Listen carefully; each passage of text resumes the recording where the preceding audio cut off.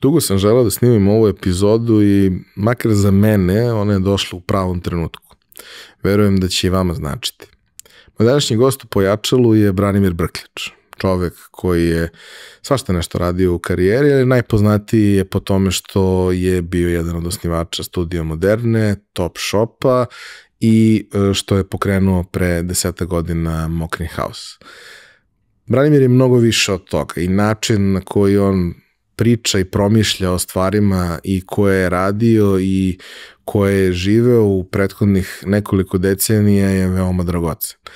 Ovaj roller coaster kroz koji smo prošli, um, verujem da će svima vama biti pre svega jako zanimljiv, a da ćete kao i obično kada nešto ima veze sa njim, svi dobiti neke trenutke koji će da pokrenu neke teme i neka pitanja o kojima ćete razmišljati u narednim danima.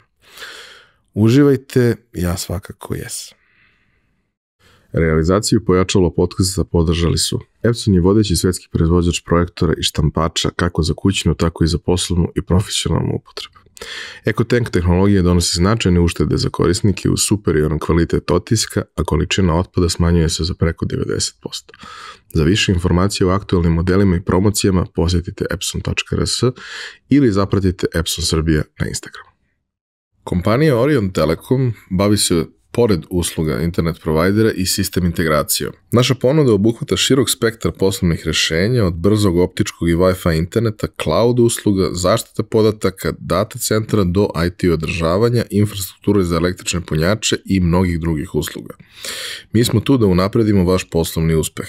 Orion e-mobility pruža kompletno rešenje za pametne punjače za električna vozila koji se mogu instalirati za kućnu, korporativnu i ugostiteljsku upotrebu, kao i u lokalnim zajednicama, putevima i javnim parking prostorima. Punjači se kreću od 22 kW do 400 kW, nudeći i DC i AC opcije. Rade preko Orion e-mobility platforme za praćenje i naplatu. Tehnička podrška je dostupna 24 kroz 7.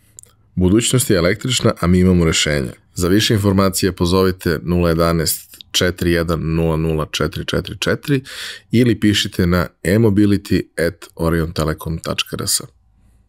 Odnedavno sam postao urednik i autor na portalu naše mreže.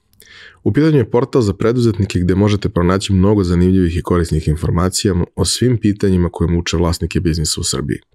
Među autorima možete videti mnogi od mojih gostiju iz prethodnih epizoda, pa topla preporuka da posetite naša mreža.rs. Za slučaj da želite da nas podržite vi individualno, uh, možete da posetite link u opisu podcasta na platformi Buy Me a Coffee i tu možete kupiti mesečnu pretplatu ili jednokratno donirati neki jednost koji želite. Hvala vam unapred na tom. Danas u Pojačalu imamo jednu ekskluzivu, nešto što se nije desilo za 270 i kusor epizoda, a to je da nakon sina imamo i oca. I jesmo mi to malo najavili u epizodi sa sinom, neću ja da grešim dušu i jeste ovo neki proces ovaj, koji dogovaramo duže neko vreme, ali mislim da je tajming uh, idealan uh, i svakako svaki tajming je idealan kad imaš ovakvog gosta. Branimir je dobrodošao. Hvala ti na, na pozivu. Ako si rekao sad uh, uh, sina i oca, dobro, ovoga puta malo drugim redosledu. Obično ide otac pa sina, sad imamo sin pa otac. A pa dobro. dobro, znaš kako, imaš te neke razgovore koji kad god da se dese dobar je trenutak, kao na primjer ovaj, a imaš i razgovore koji dobro je uvek da se desi, ali nekad bolje zato što postoji konkretan povod. Ono što Ivan radi u tom trenutku i e, što danas radi ekipa Tački povratka je jako važna priča mnogima od nas, zato što su nam prijatelji otišli preko. Mi smo tu da ih sačekamo, ugostimo i sve što treba i nije loše što su oni preko jer ima kod koga da se ode, ali ti nedostaju i mnogo je važno da postoji taj moment da se radi nešto na tome da makar deo njih koji vidi sebe u toj priči može da se vrati. Da. Ovaj, e, tvoja priča je jedna od najzanimljivijih priča koje ćemo ispričati u pojačalu i ono što je meni posebno važno je što se ona odnosi na realan biznis. Znaš, mi kad pričamo sa IT-evcima, super je to sve, nego to sve neko klikće nešto i to nema, ne možeš da uzmeš u ruku, ne možeš da. A ti si se zapravo celu karijeru bavio tim nekim vrlo realnim stvarima, pa sad neke nisu bile takve, neke su da ih iskusiš, ali ih realno iskusiš. Ali ajde da krenemo kako krećemo sa svima, sa mančmelo pitanjem šta si hteo da budeš kad porasteš.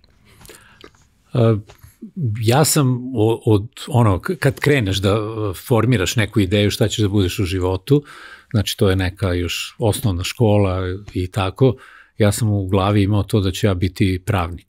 Ja nisam imao onih dilema uh, koje deci imaju, bit ću, ne znam, vrhunski sportista ili bit ću poznati glumac ili šta god. Meni je to ono, pravnik, jer to mi je, to, i to ono, advokatura, ta varijanta, da, da braniš krivo optužene i ta, ta je neka priča bila. Tako da sam još kao, eto, osnovnoškolac čitao čuvenog Ripa Kirbija, na primer, i tako te stvari, i gledao filmove na tu temu, serije i tako. Tako da, ovaj, nisam imao dilemu oko toga. Znaš šta, mislim da ovaj, mnogo ljudi koji sebe nikad ne bi mogli da zamisle u pravu, mogu sebe da zamisle u pravu kad gledaju američko pravo. Jer je to spektakl. To su mnogo zanimljive stvari i naročito su zanimljive dok ne razumeš kako sve baš funkcioniše, samo gledaš taj show koji je, koji je stvarno, stvarno interesantan. Mislim da naše pravo dosta drugačije od toga i da nema ta vrsta ovaj, i nastupa i prilika da ti stvarno nešto, nešto napraviš neku veliku razliku. Pa dobro, pitao si me šta, šta, koja mi ideja bila dobro. kao, kao klinca, to je da, da budem ovaj, to advokat i to čak i kasnije kada malo osvestiš o tome šta sve pravo jeste, ja nisam menjao tu ta, taj, taj stav, tako da... A, kako je bilo okruženje u kom si rastao? Ja sam uh, rođen i odrastao u Kikindi, sever Banata, sve mirno, fino. I to je bilo dobro okruženje, to je bilo jedno vreme kada je ono, Kikinda bila jedna od uh, razvijenijih opština, do, dobra ekonomija je bila, dobre fabrike, uh, dobra scena, tako da, a opet uh, ono, provincija u najpozitivnijem smislu te reči, svi se znamo, svi smo zajedno, tako da to okruženje bilo u stvari ono stimulativno, tako da ne želim se. A to razmišljanje o, o fakultetu i taj neki prvi trenutak kad donosimo neku odraslu odluku u životu, ovaj, ta odluka za pravo, kako je to izgledalo kad si prvi put stupio na fakultet? E, pa sve je to bilo skroz, skroz ono normalno, to, to, to se i očekivalo, je tako? Ovaj, uh, ja sam onako iz tog perioda kad bi me sad pogledao, kad bi neki vreme plovno to vratili nazad, mene bi verovatno mogao da staviš u kategoriju ono štrebera. Vukovac, sve petice i, i tako. Ovaj. A i roditelji su mi tako bili tipični roditelji onog vremena. Ja dođem iz škole, pohvalim kako sam dobio neku peticu i kako me nastavnik pohvalio. Ovaj, mama sva srećna, oduševljena, a otac, nemoj sine, samo se uobraziš. Tako da ni jedna petica nije bila dovoljno dobra da, da, da to bude pohvala i tako.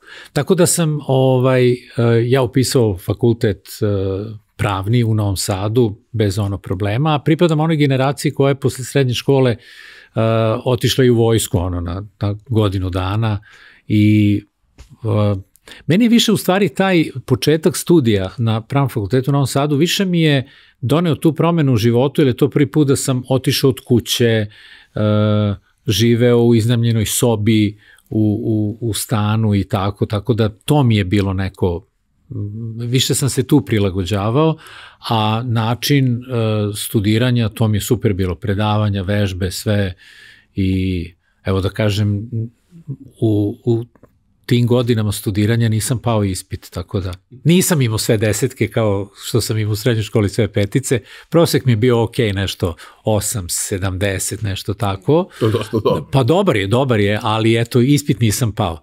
To ne znači da sam uh, uvek izlazio baš na svaki rok koji je bio, već sam sam procenjivao kad možda nisam dovoljno spreman, pa onda nisam ni otišao na, na ispit. Ali kad god sam izašao, prošao sam.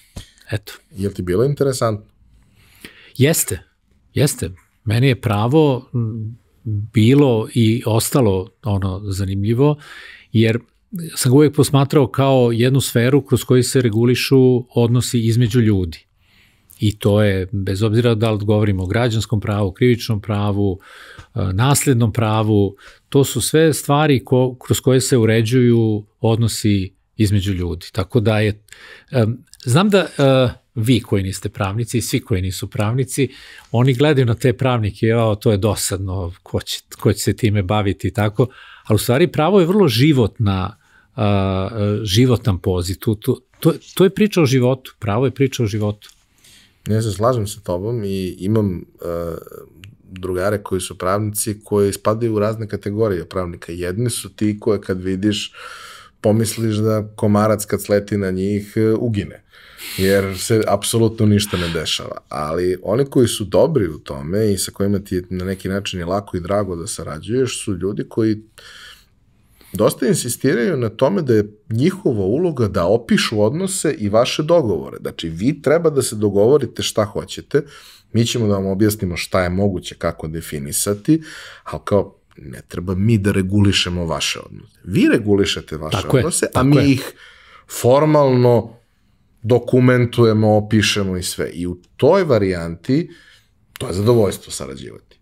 I onaj moment kad ti pročitaš ugovor i razumeš šta je ugovor. Znaš, ja, ok, nisam pravnik, mnogo sam ih pročitao, znam manje više svaki sad već da istumačim i znam za sve što mi je bitno šta gde može i kako može. Ali ima tih ljudi koji kad ti pošalju ugovor, ti vidiš da je on baš sve komplikovane reči koje je znao stavio u taj ugovor da pokaže da ih zna to ti je samo još jedan dokaz da, da, da je pravo uh, odraz života. Da li sad to gledaš u odnosu između konkretnih ljudi ili kakav je pravni sistem nekih država i tako. Uh, znaš, mi kad pomenemo reč ugovor, uh, kod većine ljudi, aha, to je ono napismeno, sve detaljno, pa onda na kraju potpišeš. Nije to ugovor. Ako se ti ja sad nešto dogovorimo, to je ugovor. On ne mora da bude u toj formi. To je, šta je ugovor? Ugovor je saglasnost volja ugovornih strana. O čemu god se mi dogovorimo, ukoliko je to u skladu sa normama kojima je e, pravni sistem uređen, to je ugovor. Naravno, postoji pismena forma da bi, se, da bi postojao dokaz šta su se mi dogovorili, ali nije za svaki pravni posao, ja sad kad upotrebim te reč, potrebno da, da, da postoji ugovor. Ali pravo, uh, ono, uređuje te odnose. Ti kad odeš u, u kafić, popiješ kafu, uh, ti platiš, izađeš, ti si sklopio ugovor a nigde ga nisi potpisao, ali to je ugovor, to je saglasnost volja i to je to. Je to. imaš dokaz, fiskalni račun? Uh, ako hoćeš da ga uzmeš. Tako. Tako da pravo je život. Uh, da li bilo nekih elemenata i ne znam, predmeta i oblasti koje su ti bile posebno interesantne i nekih ljudi, profesora, asistenata koji su ti bili posebno zanimljivi i inspirativni? Davno je, davno je to prošlo, tako da treba se pristaviti tih stvari. Ovaj, Uh, ne znam, meni je, u, u glavi mi je to da ceo taj program, kurikulum tog celog pravnog fakulteta stvarno je ono od, od istorije prava kojim se baviš do, do ono klasičnih disciplina kao što je neko obligacijono pravo gde su to pitanja ono ugovore i tako dalje onda filozofija prava je jako zanimljiva uh, uh, kategorija. Tako da sve to posmatram uh, kao neku celinu. Uh, tadašnji pravni fakultet u Novom Sadu je stvarno imao jako, jako dobre i profesore i taj kadar, tako da i moje kolege, tako da zaista imam sve onako lepe uspomene na, na, na, taj, na taj period. Šta ti je bila prva stvar koju si radio? Koju sam radio? Da, kao prvi posao ili možda honorarni ili nešto. Ha. Uh, pa ja sam ti, uh, uh, dok, dok, sam, kad, dok, dok sam još studirao, uh, ja sam bio uh, i dosta aktivan u tadašnjoj omladinskoj organizaciji. Uh, sad da ne objašnjam šta je omladinska organizacija, ali eto, to, to. Tako da praktično moj prvi neki posao je i, i bio, ako govorim sad o plaćenom poslu, ajde, dosta sam i volontirao i takve stvari, ali plaćeni posao bio je ovaj, u, sad će ovo čudno zvučati, ali u predsjedništvu omladine Jugoslavije. Uh, ali moram jednu kratku istoriju, neki background da, da napravim. To ti je vreme, mi sad tu govorimo, to je neka sredina 80. godina, u, u Jugoslaviji i omladinska organizacija tadašnja je važila za jednu onako sa stanovišta mišljenja mladih ljudi da je to jedna onako izbirokratizovana struktura, to su ovi štreberi koji pucaju na neke političke funkcije i to, to je nebitno. Mi govorimo o 80. godinama gde postoji, gde ono zlatno doba jugoslovenske rock muzike i kulture i tako i, i mladi ljudi, eto, moja generacija, ona se više okreće ka tome.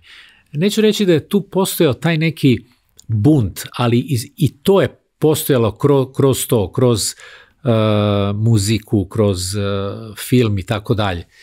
Uh, a, a tada jedan deo u toj omladinskoj organizaciji se trudio da se ukači na taj talas, da, da, da i mi u toj organizaciji pokažemo da želimo da menjamo te odnose tada u društvu, jer je tada već onako dosta su bili ti izbirokratizovani odnosi, onako uh, ambicija mlad, mladih ljudi nije bila da se bave politikom. Daleko bilo to, to, to ovih što ne znaju šta će, onda se oni time bave i tako. Uh, pravim ovaj uvod zbog toga što a, a, ja sam nešto bio aktivan u toj omladinskoj organizaciji u Vojvodini, ali tad se formirao a, formiralo jedno telo koje se zvalo Odbor za pripremu 12. kongresa omladine Jugoslavije, ovaj, a, gde bi trebalo napraviti novu neku platformu, ajde, čime će se baviti omladinska organizacija i sad da, da, da tu skratim priču, dogovor je bio da Vojvodina da svog predstavnika i tako sam ja postao član tog odbora i onda predsednik odbora za pripremu omladinskog kongresa. I moj prvi posao je bio tu. Uh, sedište predsedništva Omladine Jugoslavije je bilo u, mi smo to zvali zgrada CK, sad se zove Ušće, je li tako? Ovaj, I eto na 22. spratu. To mi je bio prvi posao. Ali ima veze sa posle razvojem događaja, ali možemo se vratiti tome kasnije. Uh, Kako je to izgledalo? Šta ste vi želeli da postignete i koliko ste imali uspeha u tome?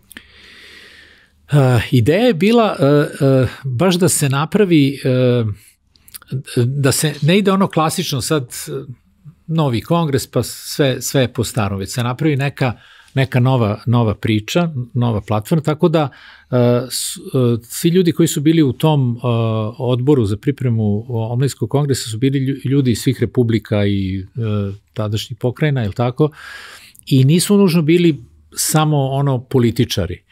I ideja je bila da se vidi šta sada organizacija hoće kako da više mladih uključi u, u te priče i onda smo organizovali događaje u celoj zemlji E, tada gde, gde se vodila ta uh, ideja je bila da se privuku i ljudi koji nisu u tim političkim strukturama, već koji se bave uh, drugim stvarima, pre svega kultura, umetnost i tako. Tako da smo organizovali skupove na kojima se onda pričalo o tome šta, šta mladi žele ovaj, veće učešće u, u, u političkom životu, da se više pitaju i tako dalje. A omladinska organizacija je imala ideju da uh, u, u stvari uključi te mlade ljude koji tada nisu bili tu aktivni. To se pokazalo kao vrlo ovaj uh, ma, malo previše idealistički, ali stvarno je motivacija uh, bila uh, ta prava. Evo, reću samo da uh, je ta platforma, čak se i ne zove tako birokratski platforma za pripremu kongresa,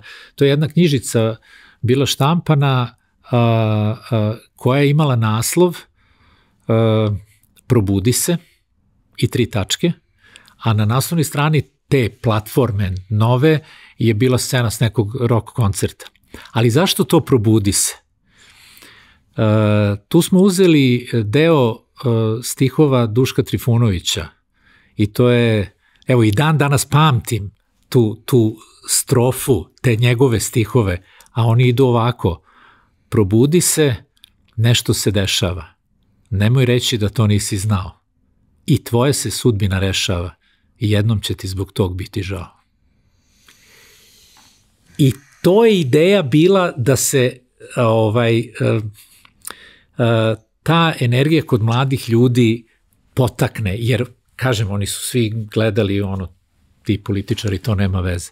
Kada iz ove perspektive gledaš, što je bilo malo, malo, ovaj, kako da kažem, uh, kao da je bila najava stvari koje će se dešavati. Ali eto, to, to, je, bila, to je bila ideja. Uh, pre par meseci sam zaređao po YouTube-u i odslušao gomilu nekih intervjua Duška Trifunovića i nekih uh, filmova koji su snimljeni u raznim nekim formatima, uglavnom emisija, koji su snimljeni u njegovom životu, gde su ljudi pričali o njemu i naravno znao sam ja i ranije mnogo toga o njemu i pročitao sam gomilu stvari i čuo ih jer mnoge su opevane, ali nema mnogo ljudi koji su pisali tako kao što je on pisao, to je zaista sa takvom nekom da. lakoćom, ta, nijedna reč nije posebna, ali je ta kombinacija vanvremenska. Pa evo, ovo što sam ti ja rekao, to, to, je, to je bio motiv uh, naš da se, da se u to ovaj, bacimo. Eto. Uh, šta je bilo dalje? E pa onda dalje kad se to završilo, uh, ta, taj deo, onda sam ja bio motivisan da, da probamo nešto od toga da, da primenimo i uradimo i moj sledeći posao je bio predsjednik omladine Vojvodine. Dakle, vraćam se u Novi Sad, to je da, preuzimam tu funkciju, ali motiv je bio da vidimo šta mi tu možemo da uradimo i e, e,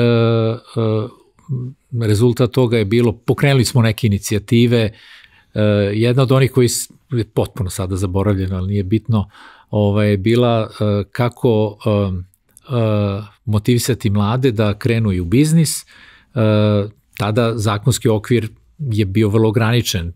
Dominantna je bila društvena svojina, mogu se da imaš privatno zanatske radnje, neke manje takve stvari i mi smo pokrenuli inicijativu da se otvaraju male proizvodne jedinice, tako smo zvali. Mislim, smešno je sada kad, kada se setim toga, ali bilo je interesa oko toga pa se tu nešto uh, krenulo, onda uh, smo malo uh, unap kako da kažem, modernizovali uh, tadašnje omladinske novine koje su izlazile u Novom Sadu, bio je glas omladine, mi smo to preimenovali u stav, tako da i to su novine koje su onda dobile taj magazinski format i tako, ali u te dve godine od uh, tog mandata koliko sam bio tamo, jedna od stvari uh, koja je najviše interesa i privukla i uh, uspeli smo da oko toga objedinimo i celu tadašnju omladinsku organizaciju i ne samo nju, jeste bilo ukidanje štafete mladosti koje, verovali ili ne,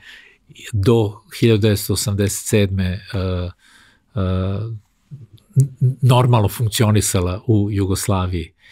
A postoji uh, uh ta, ta mala jedna predistorija toga. Uh, sad malo ću da davim, ali Nećeš. uh, ne znam kako smo došli do, do, do ove priče, ali, ali ok. Uh, tada je bilo pravilo da svake godine štafeta kreće iz druge republike ili pokrajine.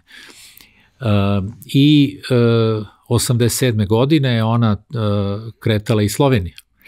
I tada je izbila čuvena ta, za ono vreme čuvena, sad ljudi se više toga ne sećaju, takozvana plakatna afera, kada je slovenačka grupa Noje Sloveniše Kunst, odnosno njihov deo grupe, ta, toj grupi inače pripadaju i Lajbah i, i oni su napravili plakat za taj start štafete, ili tako, i on je bio prihvaćen jer je to bio jedan onako figura radnika do golog do pola sa zastavom jugoslovenskom i tako i dan mladosti 87. to je bilo to, da bi se ispostavilo kad je to objavljeno da je to bila kopija nacističkog plakata iz 33. samo zastava zamenjena i tako, tako da izbio veliki skandal i tako.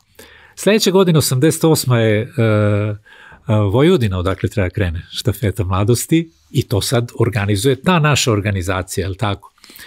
I uh, ta plakatna afera u stvari E, vrlo jasno pokazala e, banalnost nastavljanja e, toga čina i onda smo mi izašli u omladinskoj organizaciji Vojvodine sa inicijativom da se ukine štafeta mladosti, da se umesto toga organizuju razgovori na temu perspektive mladih, budućnosti mladih i tako dalje i onda je za razliku od Slovenaca koji su išli na tu vrstu provokacija, ajde reći čak i pozitivne provokacije, mi smo onako pravničko-štreberski, išli da lepo objasnimo, ravni polako. Evo, mi to mislimo, evo, ne mora, ali eto, mi tako mislimo.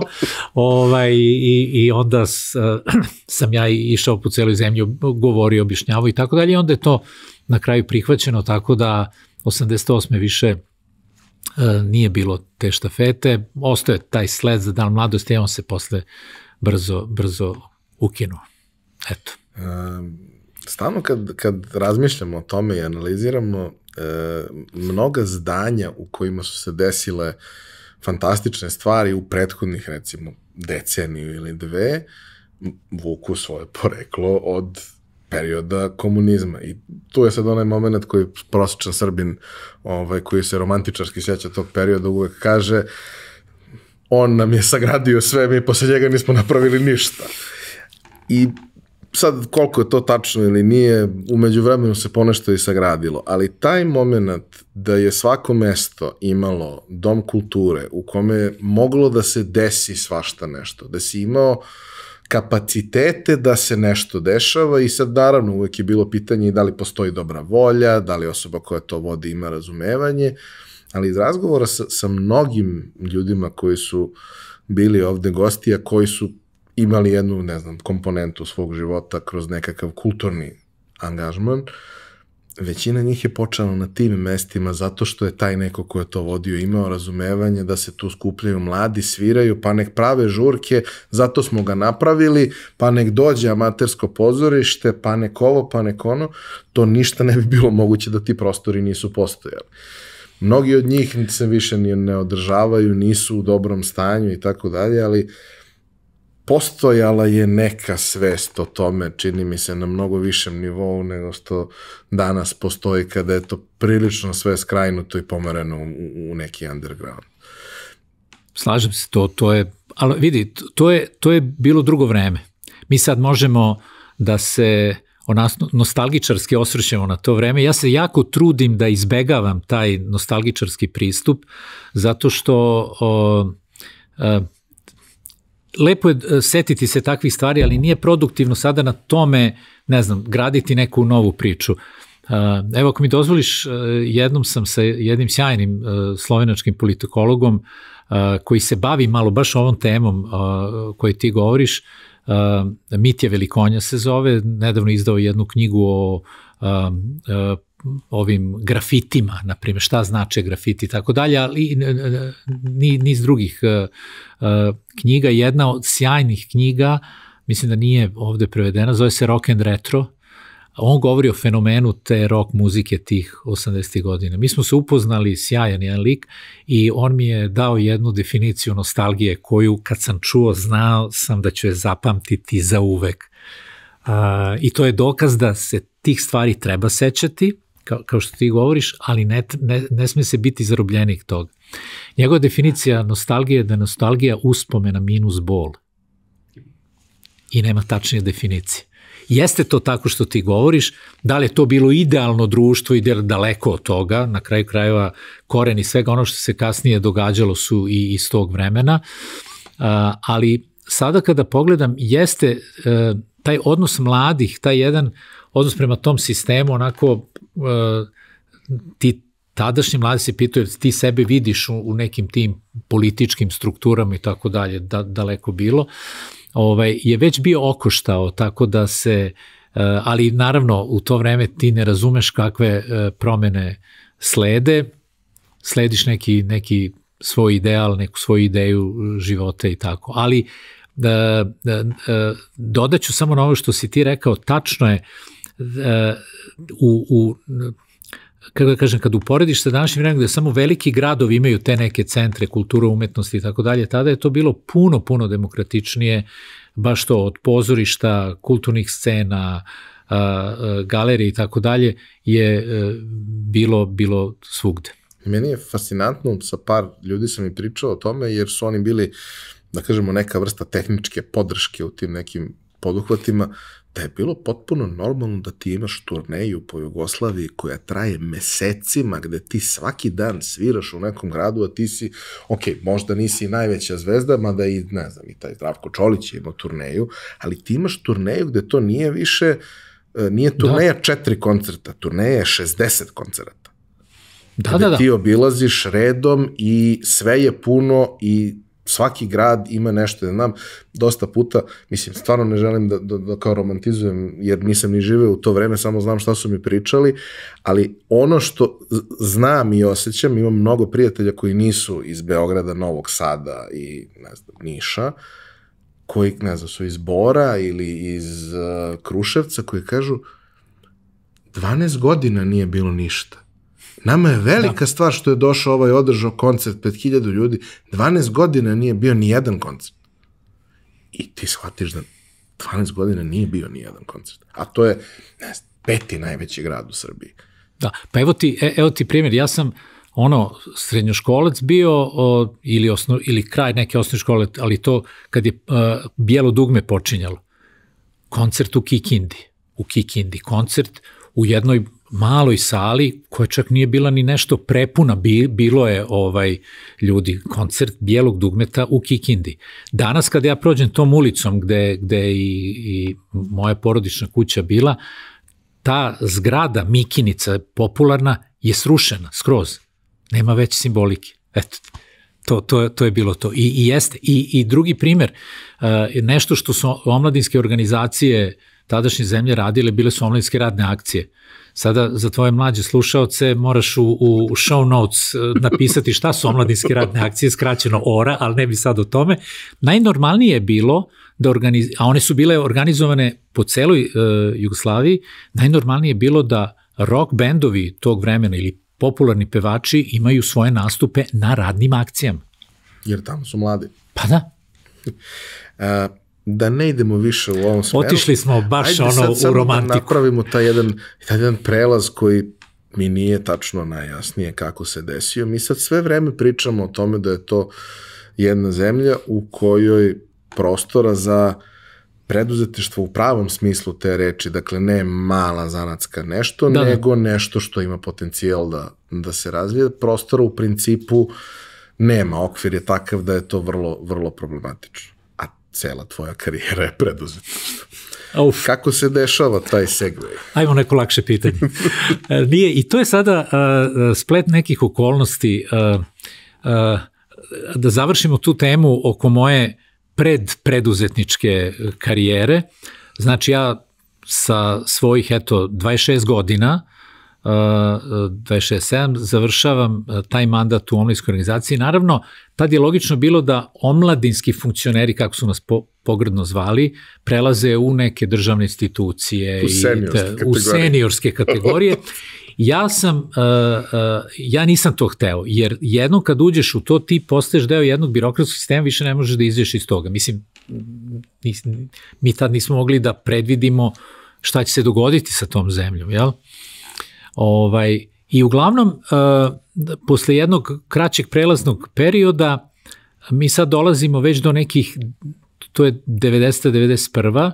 već kreće uh, da se nazire, oblaci tamni se skupljaju nad, nad, nad nebom uh, i poslednji pokušaj spašavanja te priče je bila ona e, vlada Ante Markovića i reforme koje se uvode, gde se otvaraju pravni okviri za privatno preduzetništvo, koje neće biti samo nivo zanatske radnje i tako, već mo možeš i da napraviš firmu i tako dalje. I e, e, jedna od e, prvih firmi koja je u Novom Sadu osnovana tog tipa, osnova je čovjek koji je bio u poslovodstvu Centroslavije, koja je bila velika vojvođanska spoljno-trgovinska firma, Dušan Mić otvara svoju privatnu firmu Finagra. Preko prijatelja uh, zajedničkih ja njega upoznajem, uh, njemu je zanimljiva ta moja priča uh, i pravnička i tako dalje, odnosno pravnička, da sam pravnika, šta sam radio i on mene poziva da se pridružim njegovoj firmi i meni, meni je to bilo ovaj zanimljivo, iako imam, imao sam jedan uh, jako zanimljiv dijalog sa njim oko toga kada je mene zvao da um, uđem u firmu kao pravnik, ja sam rekao super, ja, ja bi rado, ali ja nemam nikakvog pravničkog iskustva pre i da sam na vašem mestu, ja, mene ne bi zaposlio. Na šta mi je on odgovorio, razumem te, ali nisi na mom mestu. Tako da, ovaj, posle toga nisam imao ovaj odgovor na to pitanje i tako se ja pridružujem toj Finagri i kreće potpuno jedna za mene druga priča. Sve, sve ono moje uh, zašto sam i krenuo da studiram pravo i tako počinje da se realizuje. Finagra postaje jedna od stvarno vrlo uspešnih firmi koja se bavi izvozom poljoprivrednih proizvoda, pošto je Duško i tim koji je on doveo iz Centroslavije koji su napravili tu firmu, stvarno su znali u tom poslu. Ja sam stvarno se bavio pisanjem ugovora, pregovaranjem i tako dalje, ali ono, biznis ne jer nisam ništa znao o, o tome. Ovaj, I e, tako e, krećem time se bavim i, sebi, i e, onda sebe vidim e, u tom poslu. To je to. Eto, što se politike tiče, ja sam završio, sad krećem taj svoj e, ne preduzetnički, već taj jedan u biznis, u, u, real, u real, realni biznis i tako. I sada se događa jedan moment koji će u stvari meni promeniti ceo život. Uh, a to je kada on meni posle nekih, ja mislim, jednu, pa ni, ne puni godinu dana kako sam ja bio u toj firmi, on e, mene zove i kaže da bi želeo da ja upoznam jednog e, njegovog kolegu a, koji ima jedan zanimljiv projekat, ali pošto se oni znaju od pre, on bi hteo da dobije jedno neutralno mišljenje, pa mene moli da se nađem sa njim, pa ćemo onda videti.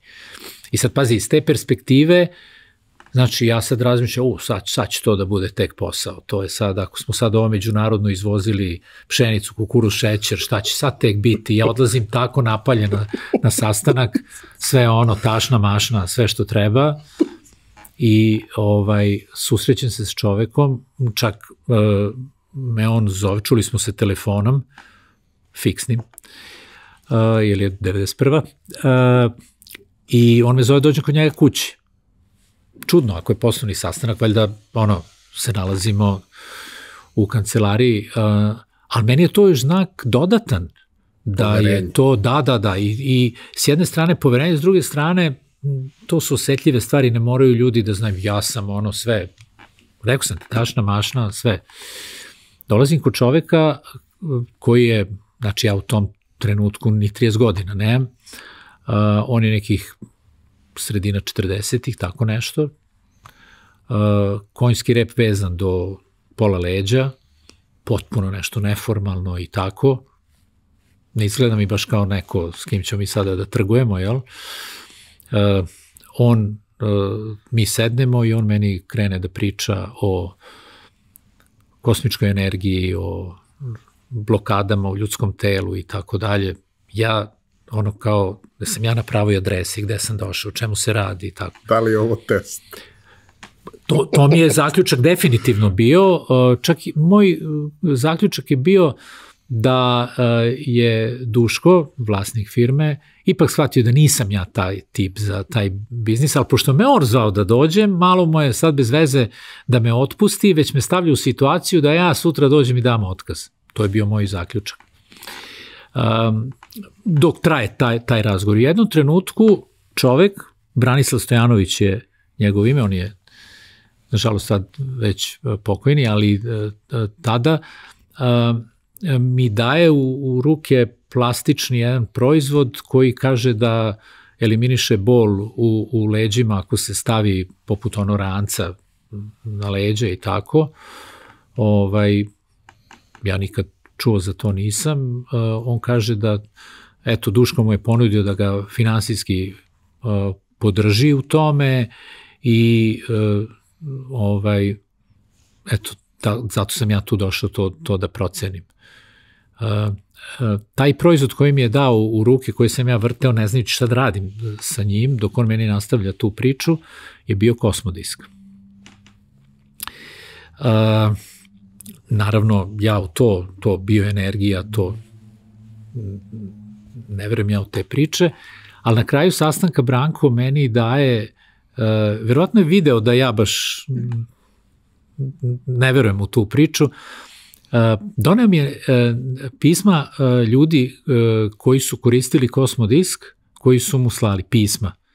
Uh, znaš šta je pismo? Da, da. Ok, mislim, on napišeš, staviš u kovertu, markica, pošt. Kao okay. faktura, samo da, nije da, finansijski. ok, ok, da. E, uh, I ja čitam ta pisma i tu, to nije sad ono kao mene leđa više ne bole i ta, takve te stvari, već je ono, dragi Branku, hvala, vratili ste mi život, sve, ja sad mogu šetam unuka ili ne znam, ja sad mogu da okopavam baštu i tako. Mislim, vidiš da, je, da su to autentične priče, da to nije, mislim, to, to već nije... Mogu ja fingirati da. jednu, dve, ali... Da, ali, ali bukvalno ih ima i tako. Ali dobro, to meni sad u tom trenutku nije bitno, ja pre već pripremam za sledeći dan kad ću verovatno da dam otkaz dušku, šta je znam, ili će da me otpusti, nemam pojma.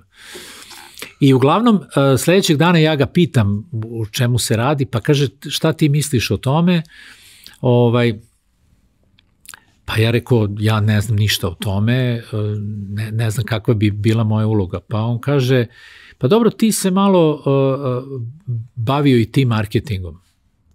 Se nisam bavio marketingom.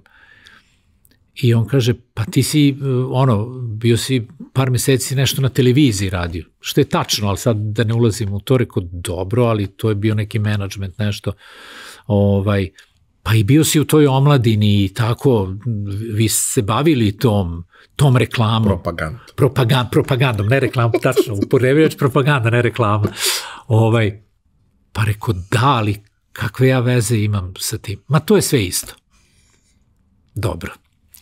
E sad, i, i, mene sad s druge strane počne da intrigira ta priča, čekaj, aha, znači ideja je da, da će onda, da mi idemo u neku kampanju, da, da se taj proizvod prodaje i tako dalje, ok, i, uh, ali ja stvarno ne znam ništa o tome.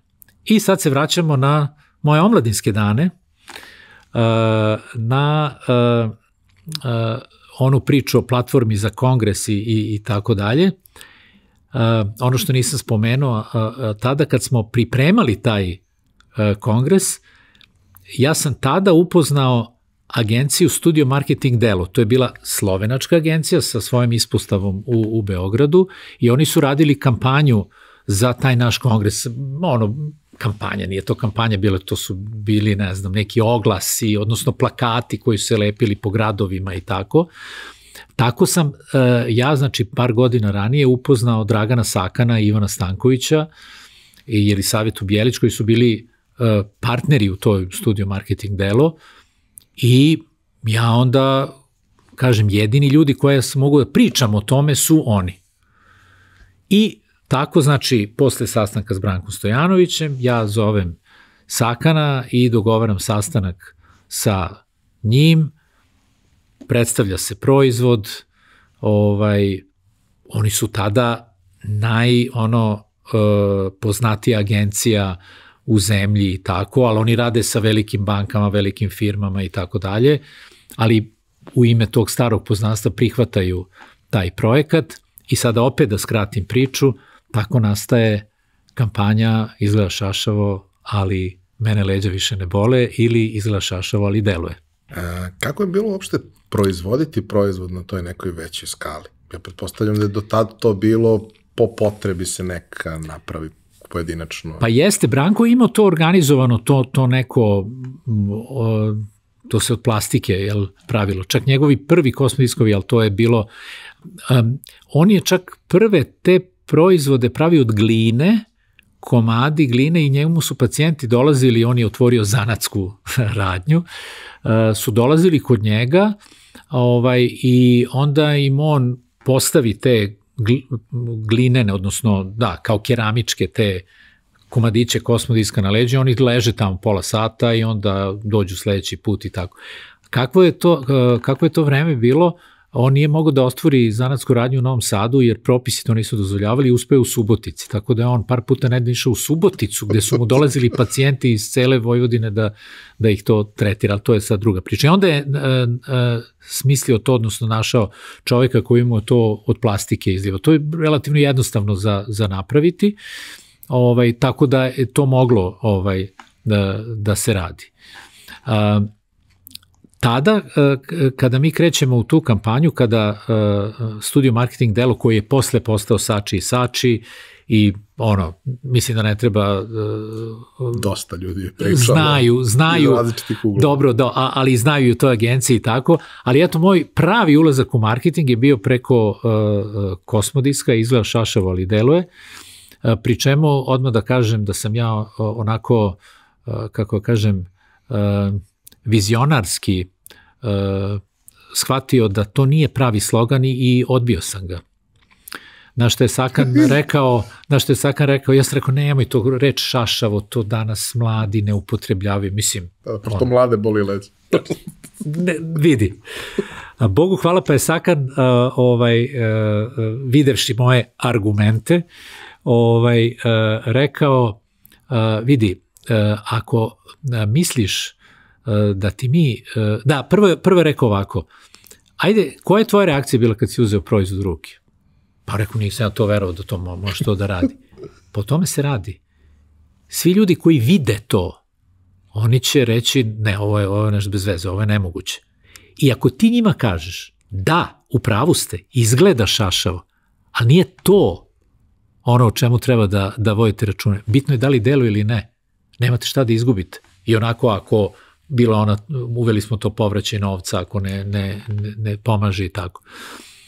I ja onako nisam hteo odmah da se predam, pa sam probao još nešto da nađem argumente, a onda je Sakan ovaj, imao konačni argument koji me ubedio, rekao, vidi, a, ako misliš da ti mi radimo kampanju, onda će ovo biti slogan. Ako nećeš da prihvatiš, mi ti nećemo raditi kampanju. Tako da je super situacija u kojoj nemaš drugu opciju, imaš that way or no way i tako smo mi krenuli u kampanju izgleda šašavo, ali deluje. E, oni su bili pioniri, to što ste vi radili sa, da kažem, novim proizvodom je takođe bila pionirska stvar. Tržište, kanali su bili prilično novi, sveži u smislu da takve stvari nisu dobijale medijski prostor ranije. Da se setim EPP, je ekonomsko-propagandni program, vrtelo se istih pet reklama dve godine pa da. se onda promeni nešto. Nema to ko sad, ne znam, banka ima neku akciju za kredit, kakva akcija? Banka je banka, banka ne menja nikad ništa i to je to. Ali imaš, Beobanka ima svoju reklamu i ne znam, par da. velikih da. brendova i, i, i slično. I onda počinje da se dešava lagano to da se pojavljuju neki novi sadržaj, neke reklame kojima jeste cilj da u malom broju prikazivanja svi zapamte da su ih videli. Nije ni tolika borba za pažnju kao što je sad, ali dešavaju se neke novije interesantne stvari i vi u suštini treba da osmislite koji su kanali i kako treba promovisati proizvod koji nikad niko nije promovisao ništa slično. Da. Kako ide to? Uh, Pa ovako mi krećemo sa tim, e, bila su dva neka 30 sekundna spota, mi nemamo budžet baš da idemo u prime time i tako, već su to neki drugi termini i mi ipak se suočavamo s tim da ljudima e, nije jasno o čemu se radi. Jer u 30 sekundi ti ne možeš da opišeš o čemu se radi.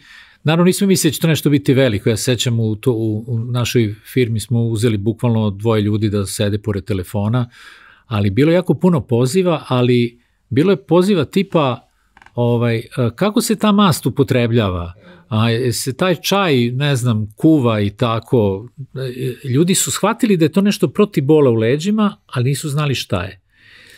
A, I tu smo mi došli do dva ključna zaključka, ključna zaključka, dobro sam ovo rekao. Ovaj, jedan je da problem bola u leđima postoji i da je to dosta veliki problem. To je jedna stvar.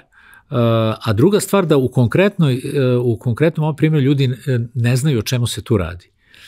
I onda, eto, to moje kratko trajno iskustvo u televiziji sam se setio da postoje ono sponzorisani programski sadržaj koji su postojali u svim cenovnicima tadašnjih televizija da se kao promovišu društvene firme i tako dalje. Uglavnom ti možda zakupiš termin, to, to je postojalo i kasnije, mislim postoji i danas, ne znam ko gleda televiziju, ali to je drugo pitanje.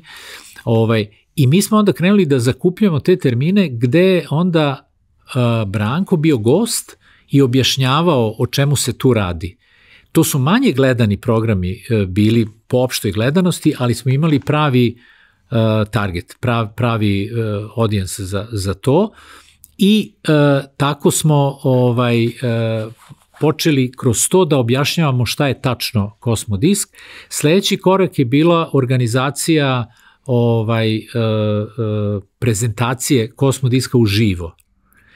Tome nam je dosta pomoglo, evo su još jedan absurd, da je to su to je već neka 91 gde počinje inflacija, pa 92. gde je hiperinflacija kreće u zemlji, gde ti više prodaja pouzećem ne dolazi u obzir. Jer je inflacija takva da ti ne možeš nekom pošalješ proizvod, on ti plati, dok ti dobiješ taj novac, on, on ne vredi ništa. I mi ukidamo tu prodaju nad već uh, radimo prezentacije. U Beogradu smo radili u hotelu Metropol, to je onako, pa smo radili na Novom Sadu i onda smo na kraju radili turneju po, po Srbiji. To je, to je bio uh, jedan odgovor na tadašnju uh, sve goru ekonomsku situaciju u, Srbiji, ali tu do, dolazimo do jedne zanimljive stanačne na početku. Ljudi pričaju o svojim problemima sa leđima na tim skupovima i ti u stvari imaš svedočenje zadovoljnih korisnika na licu mesta. Kad smo to videli, onda smo mi uveli formu, tad smo to tako zvali, reportaže, da se snimaju izjave tih uh, zadovoljnih korisnika, onda se emituju onim terminima ko, koji nisu EPP programi, već da ti to možeš da, da radiš. To kao forma sada funkcioniše, ljudi znaju o čemu se radi, ali zbog sve gore e, ekonomske situacije u, u zemlji, taj mod, jednostavno taj biznis, ne samo taj, već gomila biznisa više nije održiva. I tada dolazi ono, do, do toga da mnoge firme koje su počele u tih godinu, godinu i po propadaju. Tako je. Neke uspevaju da uspeju da, da, da opstanu zato što su razvili možda neku tehnologiju koja može i da sačeka da se situacija malo smiri, pa će oni nastaviti to da, da rade, ali ti kao i dosta ljudi gledaš da nađeš nešto što je malo sigurnije, bezbednije i stabilnije. Kako je pa- došlo do... do... Pa nemaš drugu opciju. Uh, zbog te takve situacije, naša matična firma u kojoj sam ja i dalje zaposlen, Finagra Dušana Mića koju sam pominjao, on je prinuđen da nju seli u, iz Srbije. Uh, mi smo sa Kosmodiskom već bili toliko uspešni, je napravljena uh, sestra firma gde sam ja bio direktor uh, koja je vodila taj uh, Kosmodisk, ali kad Duško odlučuje da seli firmu iz Srbije, on meni uh, kaže da su oni Branko dogovorili, a to preneće na mene ta neka prava, pod nekim uslovima, da ja vidim šta ću sad sa, sa tim kosmodiskom, jer on se seli iz Srbije, a Branko više ne može tu, tu da opstane. Tako da je to kraj te priče. I sad se vraćamo malo na moje omladinske dane, gde je moj prijatelj ostao, kao mnogi ljudi s kojima sam radio u tom, toj omladinskoj fazi, je e, Sandi Češko iz Slovenije, s kojim sam ja ostao u kontaktu ono privatnom, a Slovenija je tada već izašla iz Jugoslavije i kreće u svoj i ekonomski oporavak i tako. Sandi ulazi u preduzetničke vode, ima uh, uspešnu firmu i tako. I on je znao za projekat Kosmos koji mi radimo, tako da je još 92. u Sloveniji otvorio studiju Moderno koja je od nas kupovala kosmodijski tamo prodavala. A ovo se dešava negde početak 93. gde ja njemu kažem da je sad takva situacija i uh, E, da sam ja spreman i želim da dođem u Sloveniju i ako je da, da nastavim da vodim taj projekat iz Slovenije. E, u tom trenutku Kosmijsku u Sloveniji je ono, ok, projekat radi firma, nisu neke, e, nije neki veliki obim, ali ono, održava se I on kaže, evo dođi, vidjet ćemo tri meseca, pa ćemo vidjeti šta dalje. I tako se ja u maju 93. selim, tačnije iseljavam iz Srbije i selim u Sloveniju, uh, ulazim u studiju Modernu i sada kreće nova faza u razvoju kosmodiska, pri čemu sva ta znanja i iskustvo koje sam sticao prinuđen da, da brzinski učim uh, od snimanja zadovoljnih korisnika do uh, prezentacije u živo i tako dalje. Mi to sada ugrađujemo i u tu priču u Sloveniji, gde uvodimo i ono plaćene reportaže po novinama i tako dalje. I e, sada u, jednoj, u, jednoj, u jednom normalnom ekonomskom okruženju se taj biznis potpuno drugačije sada razvija i to je sada jedan normalan biznis i mi počinjemo da rastemo i u Sloveniji, a iz pozicije Slovenije nam se otvaraju mogućnosti i za druge zemlje, druge zemlje. Sad to govorim da već negde 94. krećemo u Makedoniji, pa onda mislim da je 95. ili da, 95. je Hrvatska, i sada već gledamo ovaj i druge zemlje. Ono što je jako bitno za taj moment kada se kosmodisk seli u Sloveniju, odakle kreće dalji razvoj, je posmatrati širi kontekst Srednje i Istočne Evrope. E, to je vreme kada posle pada Berlinskog zida 89. godine sve te zemlje Srednje i Istočne Evrope idu u svoj razvoj e, e, Uh, ulazi strani kapital, uh, oslobađaju se uh, siromaštva i stvarno ta neka razvojna perspektiva koja se javlja u toj srednjoj istočnoj Evropi je vrlo pozitivna i stimulativna za, za, za biznis. Tako da vrlo brzo posle ovih, ajde da kažem, lokalnih tržišta kao što su Makedonija i Hrvatska, mi počinjemo da posmatramo i druga tržišta u srednjoj istočnoj Evropi. Ja se sećam iz tih nekih razgovora sa roditeljima pred ono neka moja prva putovanja u životu van granica, e, kako su oni uvek upisivali svoja putovanja 20 godina ranije, koja su podrazumevala obilazak e, Mađarske, Čekoslovačke, ne znam, da, da, da. Rumunije i sličnih zemalja, koje su tada bile u dosta nezavidnoj poziciji u odnosu na to gde je bila Jugoslavija. I onda ti shvataš I shvataš to i kroz proizvode koje srećeš, čak ne moraš ni da odeš tamo, da je ta Češka, recimo, kad, ok, od podele, da je ta Češka za 10 godina postala wow, da je ta Slovačka, ok, malo slabija, ali i tamo je sve to lepo, nije to sad više kad pređeš iz Austrije da ono, nema ničega i ne, ne, kao otvaraju se fabrike, neki lokalni brendovi se revitalizuju, postaju ozbiljni, kreću da se šire na ostala tržišta, Poljska postaje ozbiljna, ozbiljno tržište da. jer je velika i ima jako kvalitetne ljudi i kreće svašta nešto tu da se dešava. Sa druge strane, mi ono, ovde prilično stagniramo u tom periodu i, i padamo dodatno i dešava se to još veće raslojavanje. E sad taj moment pomenuo si da, da ono, prelazak u zemlju u kojoj ima normalno tržište i ne samo tržište. Pa normalni uslovi za, za u poređenju sa, sa uh, Srbijom to, tog vremena. Uh, ne zahteva onaj ceo set prilagođavanja koje si morao da imaš ovde, jer u dva sata vredi jedno, a u četiri vredi drugo. Ovaj, ali naravno taj, nek, taj neki moment kreativnosti, snalažljivosti i sve ostalo je sjajan motor da se naprave neka zanimljiva rešenja. Kako je kako se razvijao portfolio proizvoda i kako se razvijalo to na koje tržište se ide sa kojim proizvodom, kako se pristupa svakom tržištu, jer to je super zanimljivo kad je veći broj tržišta u da. pitanju. Da.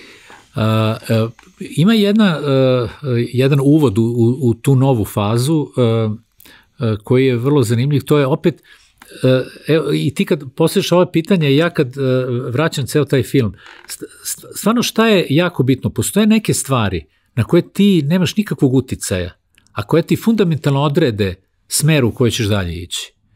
Evo, znači iz te perspektive mi smo sad u fazi kad je kosmodisk u Sloveniji, malo nešto se prodaje u Makedoniji, Hrvatska, gledamo mi šta se može, ali ne može se baš puno i tako.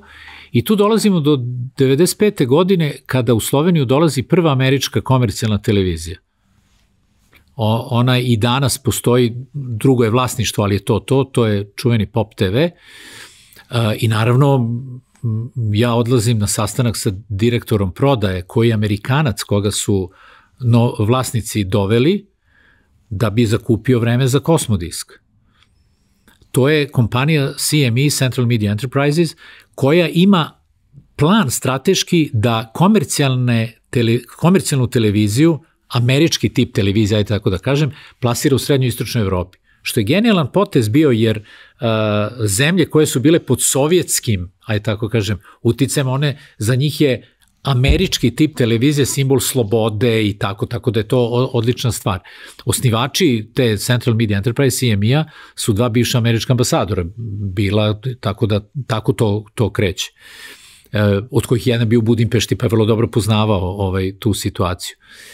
E, I ja idem da pregovaram oko vremena za Kosmodisk sa e, tim Amerikancem koji je došao iz neke manje televizije i kada uh, uh, iz Teksasa i kada on vidi o kom proizvodu se radi, uh, on meni govori hmm, this is DRTV product, great.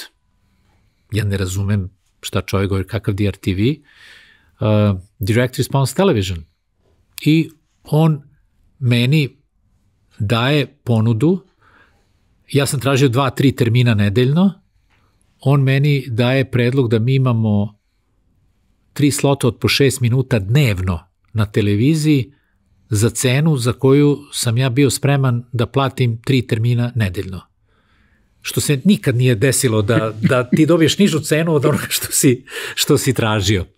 Ovaj, a, zašto je to tako bilo? To je početak razvoja te televizije. Njemu su non-prime time u tom trenutku nebitni termini, on hoće da ih ispuni i ja se tada srećem sa onim što smo mi znali da je to TV prodaja, je li tako?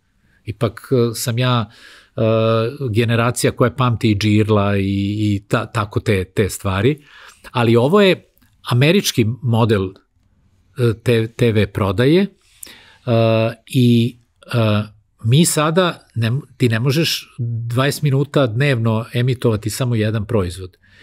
I tu dolazi naša odluka da mi te proizvode TV prodaje ubacimo u portfolio proizvoda da bi pokrili elementarne troškove je nama i dalje lider Kosmodis, to je naša uh, jel, ambicija. I tad, te 95. Uh, uh, uh, unutar studiju moderne pokrećemo Top Shop brand. Tako nastaje Top Shop. Pri čemu se sad događa Ovaj, e, sledeća stvar, znači to je naša prvobitna ambicija bila. Ali reakcije, reakcija publike i u Sloveniji je takva da sada ti proizvodi, uh, uh, dva, tri smo mi ubacili na, na početku, jedan jastuk u nekom, ne znam kakvom obliku, uh, kontur pillow se, se zvao neka krema protiv mrlja ovaj, i neki tiganj. Ovaj, da, uh, postaju ono hitovi. I mi sad shvatamo da je to uh, biznis na, ko, na kojem možemo sada da, da gradimo i još jedna okolnost nam ide na ruku, a to je da uh, taj CME uh, kreće da se razvija u zemljama srednje i istočne Evrope. I sada da skratim priču, mi jednostavno uh, prvo postavljamo taj model Top Shopa u Sloveniji i onda nam taj uh, dobar uh, poslovni odnos sa Pop TV-om u Sloveniji otvara vrata i u par drugih država Srednje istočne Evrope koje više nisu XU države uh, i mi tamo pokrećemo biznis i naravno taj Top Shop onda uvodimo i u ove zemlje XU, jer tu, tu poznajemo situaciju, ovaj, i tako, od, tako je Kosmodis koji je rodno mesto tog top shopa, u stvari uh, kreira jedan, jedan novi brand koji je postao ono dominantan uh, brand. Na ruku nam ide i to da je Slovenija malo tržište, jer postoje neke inicijative oko TV prodaje i u drugim zemljama Srednje i Istočne Evrope, ali oni su uglavnom vezani za nacionalna tržišta. Mi kad smo ulazili u Mađarsku ili Poljsku, tu su već postojale neke firme koje se bave time, ali one su vezane za, za to tržište, a naša ambicija je da se širimo na, na ta tržišta i tako kreće jedan stvarno jako brz eksponencijalni uh, rast kompanije. Ono što je meni super interesantno kao nekom ko je ono, bio gledalac televizije u tom trenutku, jeste taj moment da na komercijalnim televizijama počinju da se javljaju ti formati. Sad u tom trenutku većina komercijalnih televizija u Srbiji koje postoje su prilično štapi kanap. Neke nisu, jer su napravljene ozbiljno, ali većina nije ta baš scenografija ko na pravoj televiziji i tako dalje. I dolazi neki program koji u prvih nekoliko meseci je super isproduciran, vrlo konkretan, imaš nešto zanimljivo da gledaš i ti uzmeš i gledaš četvrti put, gledaš kako on sa tiganjem nešto radi, što stvarno mislim suludo, jer kao imam 10 godina i ne zanima me tiganje, ali zanimljivo je. Dobre su fraze, dobro je spakovano, nije previše kratko, taman da sve možeš da vidiš i objasniti u raznim nekim situacijama i prirodna reakcija je da ti to naruči sad, ako si vaspitano dete od 10 godina ne naručuješ, ali smaraš roditelje. Ali Hvala. taj moment da se tu dešava nešto što je potpuno drugačije od onoga kako izgleda da. televizija u tom trenutku i naravno da privlači pažnju. E sad, kako izgleda to sa druge strane? Zato što, ono, pretpostavljam da su to one situacije gde ti imaš nekoliko udara u toku dana koje moraš da pokriješ da. na neki način, a da ostalo vreme je manje više prazno. Uh, da, to tako na početku izgleda i ono, sada još jedan moment je tu jako bitan, kratak samo uvod, TV prodaja tog, ta moderna TV prodaja, ni u Americi nije, nema dugu istoriju. Ona počinje se razvija u Americi u vreme mandata Ronalda Reagana i uh, zašto je to bitno? Jer u to vreme počinju se razviju kablovske televizije i ukida se ono ograničenje koliko EPP programa može da bude po satu programa za kablovske televizije. I tu se, i tu se stvara taj novi format, o, o, ovo što si uh, rekao, da reklama nije reklama, već je to program koji u Americi čak traje do pola sata, ima svoje ime, infomercial, uh, informativna reklama, je tako? Uh, jer to je, uh, ljudi gledaju televiziju on the top of the hour ili half on the hour, tako da, da je to to. Ovaj, I to, i to privlači gledac upravo zato što oni to gledaju kao, kao, kao program. Tako da uh, u, u, u to vreme uh, kada mi krećemo sa tim, E, mi e, moramo da imamo još jednu stvar koja u Americi nije nužna, jer u Americi su postojali call centri i onda e, kompanije angažuju call centre za prijem naručbi. Kod nas to nema. Mi moramo da razvijamo sobstveni call centar, što je dodatan trošak sa stanovišta biznisa, ovaj, ali ti nemaš drugu opciju. I jeste, ti imaš one udare kad su reklame, onda, onda imaš puno poziva, ali kako vreme protiče, ta, a, ti pikovi se a, su sve dugotrajniji, jer ljudi više a, znaju o tome, pa zovu a, i kasnije, ne samo kada, kada gledaju a, a, reklamu. Tako da a, a, je to jedan moment koji je tu bio jako bitan. A, I druga stvar, ono što smo mi, zato što smo radili biznis u više zemalja, u početku dve, tri, jel tako, onda ti vidiš da nije reakcija publike u svakoj zemlji ista a mi se i dalje širimo po regionu centralne i istočne Evrope, uh, zahvaljujući tome što uzimamo prava za prodaju tih nekih proizvoda za celu srednju i istočnu Evropu. A pazi, to je vreme kada je od pada Berlinskog zida prošlo par godina. Za američke kompanije koje imaju te proizvode, pa čak i zapadnoevropske, Srednja i istočna Evropa je jedna siva mrlja još uvek. Ne postoji, to, to je sve neka srednja i istočna Evropa. Tako da mi koji poslujemo u više država te srednje istočne Evrope, dobijemo pravo za ceo region što nam olakšava da se, da se uh, dalje uh, širimo. Uh, te, uh, posle izvesnog vremena dolazi još jedan zanimljiv moment. Mi shvatamo koliko je važno u, pošto, poštovati specifičnosti pojedinih tržišta. Jer nije svaki proizvod uspešan na svakom tržištu. Imaš te univerzalne hitove, naravno, koji su svugde uspešni, I onda u um, pristupu organizacije posla mi uvodimo, sad ću upotrebiti jedan termin, malo samupravne elemente. ovaj, zašto? Jer kako mi da znamo šta će da bude dobro u Poljskoj, šta u Češkoj, ali imamo privilegiju da možemo to da testiramo. I onda, kako, sam se, kako nam se širi biznis, mi centralu našu u Ljubljani sve više pozicioniramo kao neki marketplace, gde odgovornost prenosimo na menadžmente pojedinih država koji prate rezultate i onda oni biraju koje proizvode, koliko i tako dalje i posti, postižeš e, e, dvostruki efekat.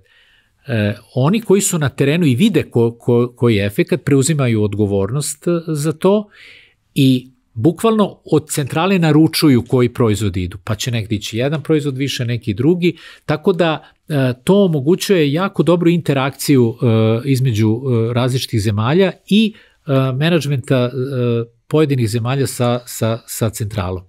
Jedna od stvari, dakle, jeste da ste vi krenuli sa proizvodom koji je autorski vaš. Prava Tako su je. vaša, autorski je vaš. Kasnije su to proizvodi koji su selektirani od negde.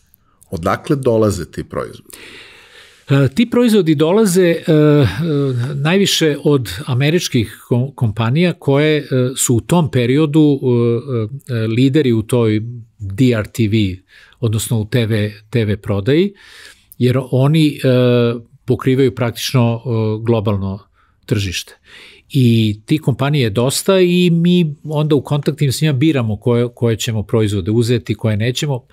Vrlo brzo ti kapiraš da ne treba pametuješ puno oko toga, već ti testiraš proizvod, pa ako on funkcioniše, onda onda ga uh, dalje prodaješ. Znači, prva faza to su, uh, zašto? Zato što svi ti proizvodi idu sa već snimljenim reklamama. I ono što smo isto mi radili, nismo samo prevodili te reklame, već uključivali i lokalni sadržaj. Ako je svedočenje zadovoljno korisnika, mi, mi ga biramo lokalno u zemlji u kojoj, jer to, to mu daje e, na autoritetu i na autentičnosti. Ali mi u početku se ne bavimo snimanjem tih spotova, jer to dobijamo zajedno sa proizvodom, jer kompanija od koje kupiš proizvod, ona ti da i taj spot i reklamu koju onda ti samo lokalizuješ. Onda dolazi jedna druga faza da mi shvatamo da je naše prisustvo na tim tržištima uh, uh, na, na piku Studio Moderne i Top Shopa, to je 20 država sa tržištem koje je oko 350 miliona, uh, to je To je više od Amerike. To, o, to je ozbiljno i mi imamo ono, kad se uzimaju broj, broj ljudi u call centrima, mi imamo ono par hiljada zaposlenih i tako, to je, to je već uh, kompanija. U tom trenutku uh, ti shvataš da ti možeš da imaš i svoje brendove i to je vreme kada se uvode uh, naši brendirani proizvodi, to je vreme kada počinje Dormeo, Delimano i uh, takva vrsta proizvoda. E, sećam se iz, iz tog nekog perioda kraja 90-ih, kada kada je počela priča sa Top Shopom, da sam ja gledao neke kablovske nemačke kanale, obično to bio neki sport, pa opet u pauzama između utakmica ide sličan sadržaj. I tad sam prvi put povezao da su se neki proizvodi koje sam video u Nemačkoj šest meseci kasnije pojavili ovde, neki i obrnuto, prvo bili ovde, pa posle bili Tako u Nemačkoj, pa mi je to bilo interesantno. Ali zapravo taj moment kada počinju PL-ovi, to mi je super zanimljiva priča, zato što razvoj i e, malo prodaje u, u, u Srbiji prethodnih 15 godina je najviše zapravo baziran na tome što su većina lanaca počeli da biraju neke proizvode da ih imaju kao svoje PL-ove. I sad, ne znam, do, dolazi neki DM kad je došao, ti kupuješ njihove proizvode i kao, pošto to ne postoji kao koncept ovde, a ko, ko, koja firma ovo pravi? Pa pravi DM, mislim, ne pravi, ali DM ti je garancija kvaliteta. I ti shvataš da kao postoji ogroman broj sistema koji žive na tome. Da kao, ne znam, evo, na, najveća revolucija koja se desila posle vraćanja Ikea je Lidl. Kao, ali ja neću, ne, ne volim ja te brendove, nisam ih nigde drugo viđao. Pa da, zato što su njihovi. Ali da. oni su selektirali neki set proizvoda i taj moment kad, ok, kad, kad si Lidl, onda imaš ogroman marketplace i manje više šta god da napraviš, ako je ok, će proći. Ali taj moment kad, kad ti izabereš proizvod koji treba da živi kao brend, koji treba da nadraste ideju da je deo top shopa, ako ima taj da. potencijal. Kako to ide? I prvo, o, o, odakle ideje za proizvode, kako ste ih formirali, kako ste ih razvijali?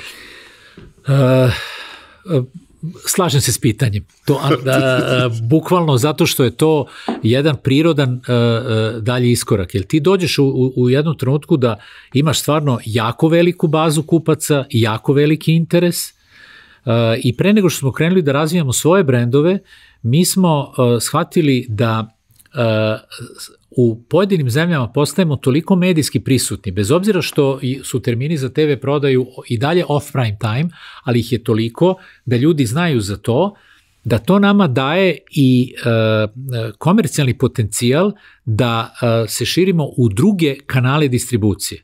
I mi u jednom trenutku, osim, pored e, direct to customer, direct e, e, to buyer e, linija, mi razvijamo i dodatne kanale distribucije.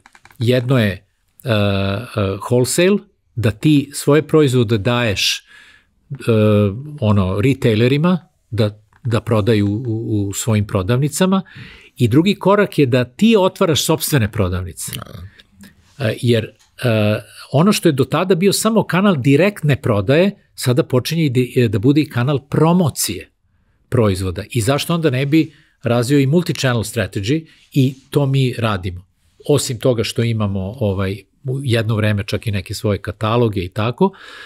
I e, e, onda dolazi dotle da ti prosto e, vidiš koje kategorije proizvoda su zanimljive e, kupcima i i jedne od najzanimljivijih kategorija su bile ono što je vezano za spavanje, to su jastuci, dušeci, pokrivači i tako dalje i odatle dolazi ideja da se krene uh, sa Dormeom gde mi nalazimo i taj jedan specifičan patent tada ovaj te neke memorijske pene i tako tako da to to radi mislim nije nije memorijska dušeci od memorijske pene nisu unique patent ali je to kategorija u koju mi ulazimo.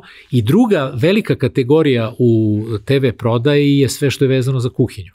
I zato se ide u liniju uh, Delimano I ti imaš, e, i ovo ti je odlična paralela koju si povukao.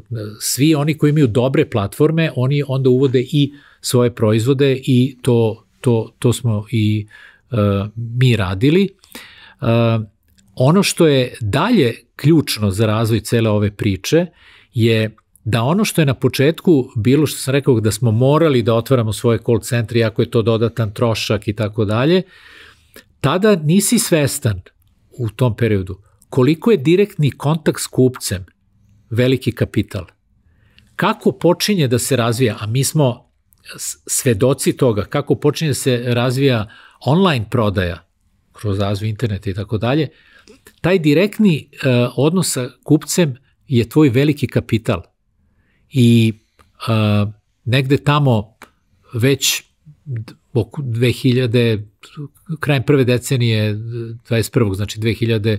9. 10. i tako dalje, nama taj kanal distribucije, lojalni kupci, postaje najbitniji. Ono što je meni fascinantno je da ste vi tad radili stvari koje danas i dalje 90% firmi sa kojima imaš direktan kontakt ne rade. Znači, te potpuno je normalno u Srbiji da te pozove operator koji zna, znači vidi u sistemu koji ti mobilni telefon imaš, vidi da imaš mobilni telefon poslednje generacije i da poslednjih 10 godina imaš uvek poslednja ili predposlednja generacija i ponuditi po super ceni tri generacije star telefon. Kao, ali ljudi, mislim, kao, jel vi vidite? Pa ne vidimo, znate, ali nama su rekli da zovemo redom. Dobro, super. Onda, ne znam, pozovete banka i ponuditi cash kredit koji vide tvoju mesečnu potrošnju, promet i sve ostalo. Znaju se, ne da. znači ti apsolutno ništa, ali ne, oni su tebe zvali i sad, znaš, kad se to desi jednom u dva meseca, o, nema veze. A kad se to sad dešava svaki drugi, treći dan te neko zove, to je uznemiravanje. Uznemiravanje, a potpuno je beskorisno. Ne daje nikakav rezultat. Sad ja se sećam, jer naravno i mi smo bili jedna od porodica koje su u nekom trenutku kupili neki proizvod, i vaši su bili dosadni. Ali znaju koga zovu. Znaju kad šta se dešava.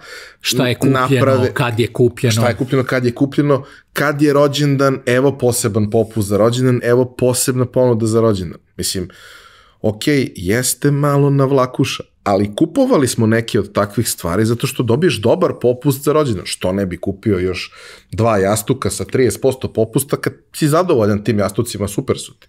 Da. Znaš kao, sofisticirano je za naše pojmove. Verovatno je CRM normalan koncept u Americi 30 godina u tom trenutku, ali kod nas se niko ne bavi time na iole pismen da. način. Pa znaš šta, mi smo, ovaj, e, naša prednost je bila e, to da, da smo sledili kako smo imali kontakte i sa američkim i zapadnoevropskim kompanijama, jer su nam bili partneri, od njih smo i kupovali proizvod, ali sretali se na sajmovima, konferencijama i tako dalje.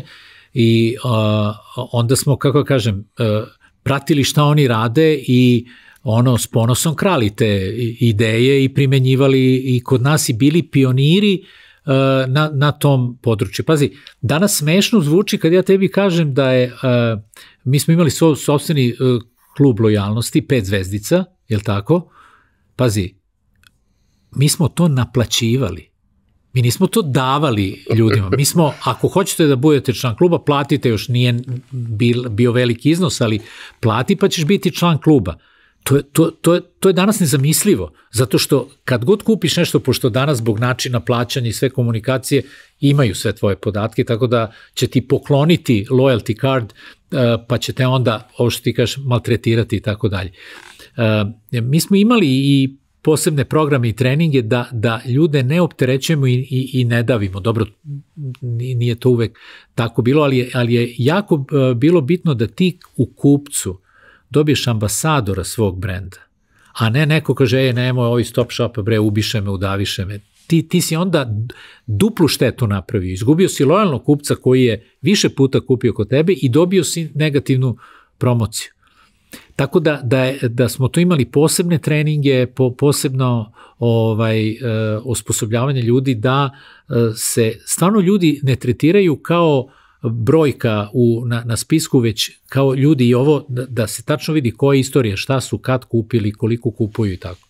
Sad jedna od stvari koje se ja sećam, opet od ovih ljudi koje sam znao iz te priče, ono kojima je to bio negde i početak karijere, često sa fakulteta, jeste da je postojao taj moment da ljudi uđu u sistem kroz jednu poziciju, ali da ukoliko su kapaciteti zaista dobro rade svoj posao, napreduju i nekada napreduju u okviru zemlje, nekada napreduju u okviru sistema, pa odu na tržište koje je mnogo kapacitetnije i gde može da se napravi veća razlika, što mi govori da ste se vi zaista bavili svojim ljudima i i tim poslom. Ta firma nije mogla da poraste i da bude tako dobra da vama nije bilo stalo do toga da zadržite neki sjajni ljudi. Kako je to funkcionisalo? To opet nije baš nešto što je mnogo karakteristično za poslove ovde. A, to je ključno pitanje bilo, jer a, ajde po, pokušaj da sagledaš stvari iz moje perspektive, odnosno iz naše perspektive, kad ti otvaraš nek, neku novu zemlju, znači ti ne možeš da odeš u tu zemlju uh, Rumunija, Mađarska, Slovačka i da sad raspišeš konkurs ko će da bude u tom timu. Ili to novi biznis model, znači nema, nemaš nikoga ko ima neko prethodno iskustvo. I e, naš pristup je bio uvek da onda iz e, neke od postojećih zemalja, u početku je to bila Slovenija, a kasnije i druge, uvek pošaljemo nekoga da vodi firmu, novo otvorenu firmu. Ali ta osoba, ne, ne samo jedan, neki put je to bio i tim od dvoje, troje ljudi, zavisi koliko je velika zemlja, koji onda tamo biraju i regrutuju lokalne ljude. Ali naša zahtev prema njima uvek bio da se kroz rad lociraju oni kadrovi koji mogu da izrastu do neke više menadžerske pozicije. Jer je ideja bila da u relativno kratkom periodu lokalni menadžment preuzme vođenje firme. A naš postojeći koji je otišao u tu zemlju je ima zadatak da taj know-how i tu ekspertizu prenese na taj tim. Tako da je to bio jedan, tu, tu, tu smo razvili jedan vrlo specifičan model da, da je to zadatak ekipe koja odlazi u novu zemlju i onda smo imali, kako se povećavao broj zemalja, uveli smo i sistem regionalnih direktora, Znači, to su ljudi bili iz menadžmenta koji su pokrivali određen broj zem, e, zemalja. Ti u jednom trenutku ne možeš da budeš odmah za 20 zemalja, možda bude za 3, 4. I gledali smo da to budu ili kulturno bliske zemlje ili po, po neki uh, drugi način uh, povezane. Ali je bi, uvek zadatak bio da što pre dobijemo ljude iz lokalne zemlje, da uh, uđu u taj menadžment, da se kroz to uče i onda neki od njih odlaze u neke treće zemlje. Uh, jedan onako primer koji je stvarno uh, ovaj vrlo specifičan bio kad smo otvarali baltičke zemlje. Uh, Estoniju, Koje su vrlo specifične. Vrlo, Estonija, Litvanija, Latvija, uh, Letonija, kak, Letonija, Letonija, da, zato što ja malo imam ovo, kako se kaže, ali znamo, znamo koje su to zemlje. Mi smo bukvalno imali interni konkurs uh, u, u firmi ko će, ko da, će da, se, da se prijavi. I, I ono što je jako ohrabrujuće bilo, nama se ja, e, javio čovjek iz računovodstva jedne firme, onda e, e, šefica call centra iz druge zemlje i bukvalno smo troje ljudi koji su čak nisu bili ono znali su ono ono biznis i tako ali nisu u tom trenutku bili u nekom top menadžmentu. Oni su odlazi o, otišli tamo i svo troje su bili vrlo vrlo uspešni, vrlo brzo regrutovali ekipu odande i uh, kako se to širilo, uh, mi smo shvatili da, da taj know-how mora da još efikasnije da počne da se izmenjuje i onda smo formirali i sobstvenu internu akademiju uh, koju smo locirali u Budimpešti i uh, to je bio ceo program uh, učenja da su dolazili ljudi iz različitih zemalja i prolazili tu obuku i šta je TV prodaja i kako se radi u call centrima i, i, i ceo taj sistem, to, to smo razvili, koji su jedno vreme i živeli tamo, onda se vraćali u svoje zemlje, pa se ponovo vraćali na, na a, a, akademiju. To, ali šta smo, o, osim tog znanja koje smo na taj način daleko efikasnije prenosili, obezbedili smo i e, razvoj njihovih e, odnosa međusobno. Tako da su jedni drugim bili suport gde god da su posle bili u kojoj god zemlji uh, da, da su bili.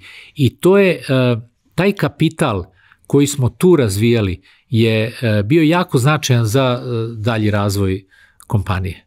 Ti si u jednom trenutku izašao iz te priče i pričat ćemo i o tome, ali ono što me zanima je da li u, u, u periodu na vremenskoj liniji gde smo otprilike sada i bližimo se tom trenutku, da li se osjeća značajan pad televizije u odnosu na druge kanale.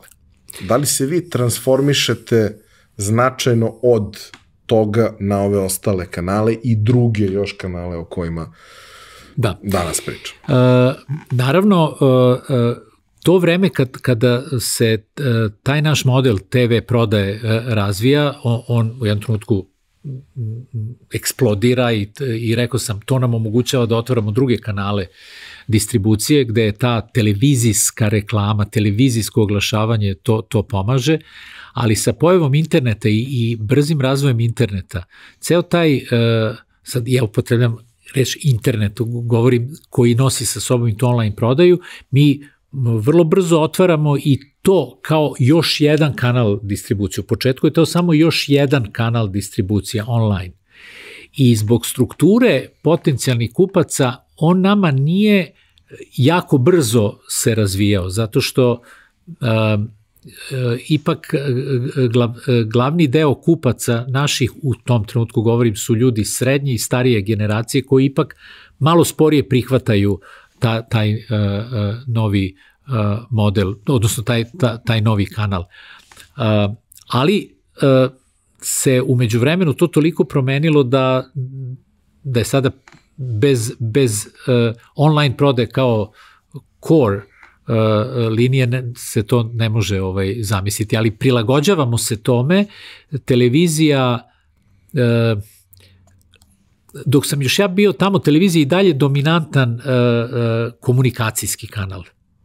Ali u velikoj meri ona podupire ove tradicionalne druge kanale, maloprodaju, veleprodaju, ono, call centri i tako dalje, a online počinje i neki svoj samostalni razvoj, jer on ima i svoje, uh, svoje pravila i svoje mehanizme i oglašavanja i komunikacije uh, i svega toga. Ono što u tom trenutku uh, će zafaliti i Top Shopu, ali ne samo Top Shopu kao Top Shop, već svim kompanijama koje se bave tom tradicionalnom TV prodajom, jeste ograničeni portfolio proizvoda.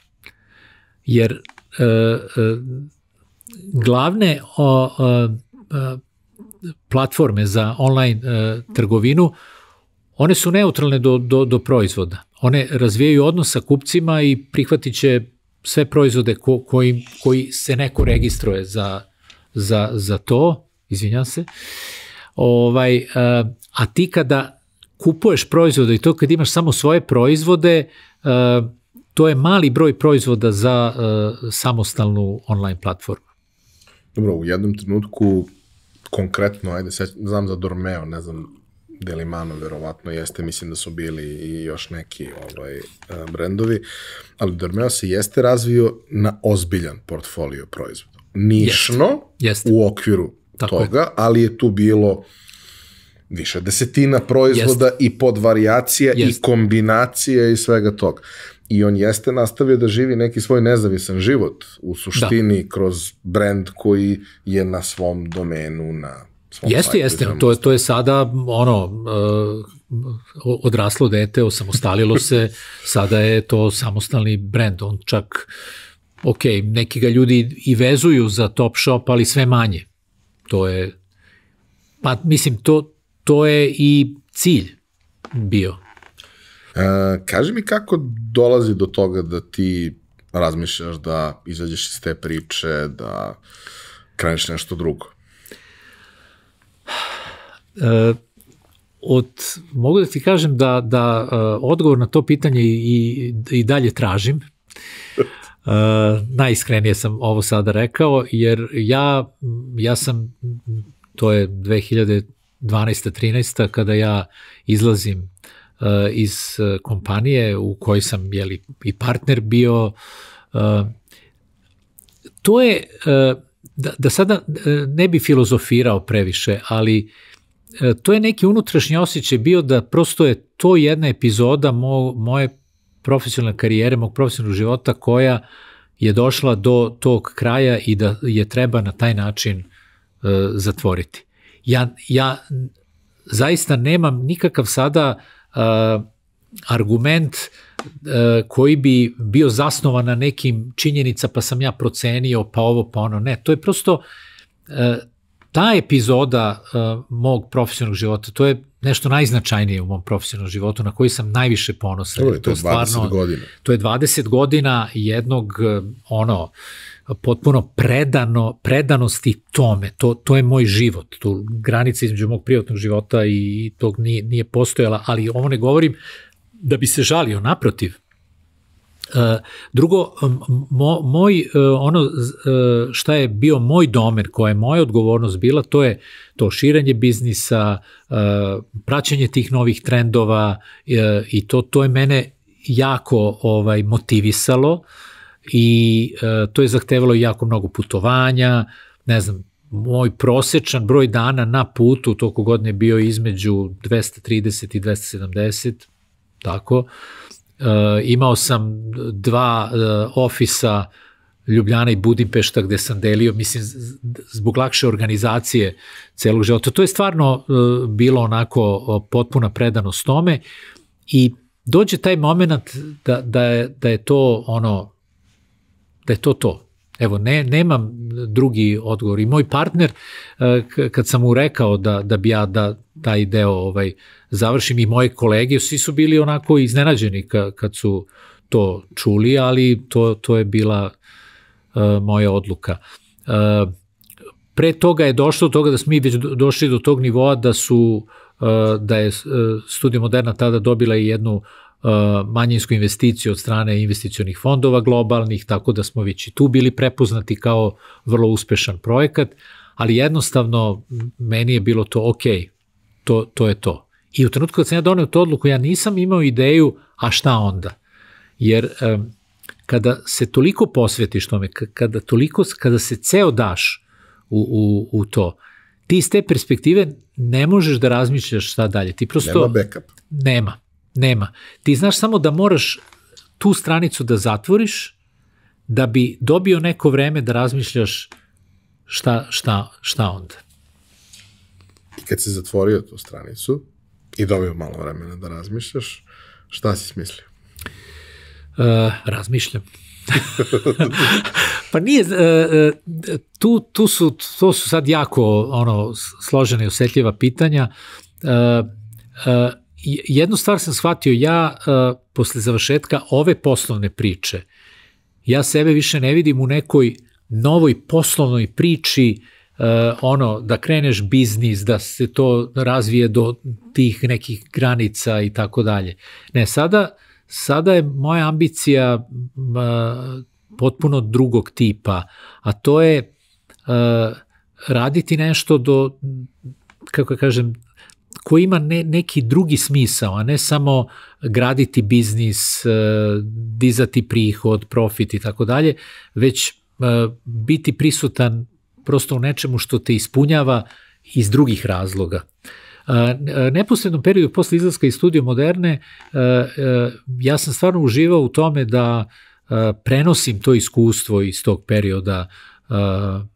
Voleo sam da govorim na konferencijama gde sam bio pozivan, da angažovan nekoliko konsultantskih aranžmana i tako dalje, ali nisam hteo da uđem ni u konsultantske vode, zato što to mi je jednostavno ja sebe ne vidim, ne vidim u, u, u tom svetu da sad uzme pa nekom pametujem šta i kako treba. Prosto nije, nije to moja, moja priča. E, tako da e, je prosto e, to ka, kada sam malo osmislio šta i kako, ovaj, e, privlače me oni projekti koji imaju i neki društveni uticaj, ne, ne, neki efekat koji nije samo u ono prihodu, profitu i tome.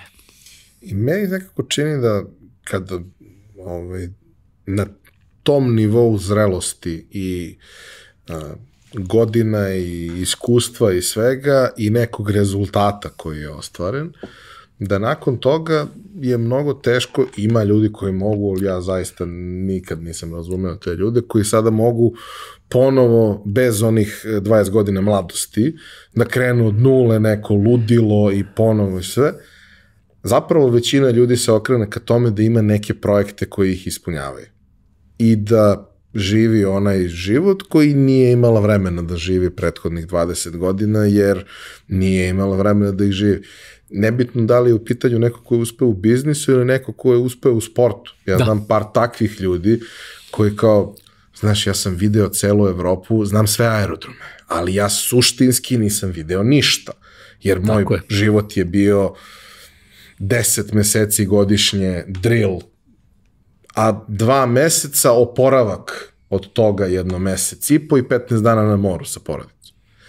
Te, I tačno, kao, tačno ja hoću da vidim te stvari, ja pamtim, ne znam, po lepom Valenciju, ali nisam prošeto nikad Valencijom, ja sad hoću sa porodicom da prošetam Valencijom, ili hoću da obiđem nešto što mi je važno, ili hoću da vidim nešto što nisam video, a da kada imam viška energije, inspiracije, svega, se posvetim nekim projektima za koje se nadam i želim da ih napravim da budu samo održivi, ne zbog mene, nego zbog smisla i zbog ljudi koji će tu biti. I ja tako to vidim. I meni je ta priča Evo, od, prevashodno odlično, odlično si opisao upravo uh, moj motiv, apsolutno. Ja sam za, za tih 20 godina stvarno ono proputovo svet i to, ali ne mogu ti reći sad ovaj uh, baš to šta sam od toga video ili sve bilo vezano za, za biznis. Ne, ne žalim se daleko od toga. Jel? I prva stvar koju sam radio kad sam izašao iz studija moderne, to sam ono svesno doneo odluku, otišao sam uh, na put koji je malo više od mesec dana bio po Australiji i Novom Zelandu. A, zašto? Pa a, to, to je jedini deo sveta koji nisam e, poslovno obišao i video. Ovaj, I drugo, razmišljao sam kad ću ići tamo, to je, ne, ne, ne kaže se džabe u, u engleskom ono slengu ka, kako, kako zovu Australiju, down under, dole ispod, mislim to stvarno, ovaj, to je potpuno drugi svet i to me jako me to osvežilo, to potpuno promena uh, perspektive, uh, i onako Taj pogled od ozdo. taj pogled od ozdo, mislim, ba, baš, baš uh, je to ono, I uh, jedan deo to, tog puta sam proveo sa sinom koji ti je bio gost ovde, tako da nam je to bilo jedan bonding koji je bio jako, jako vredan iz mene i za njega. Ali kažem, to je bilo da ono napraviš ono kat za, za, za to. I sad, taj moment, um, ja ne saznajem odmah za Mokrin House, ali se sećam prvi put kad sam video logo, zato što je bio lep i boje su bile dobre, i terapanonika. Kao pojam. Zato što je tako dobar.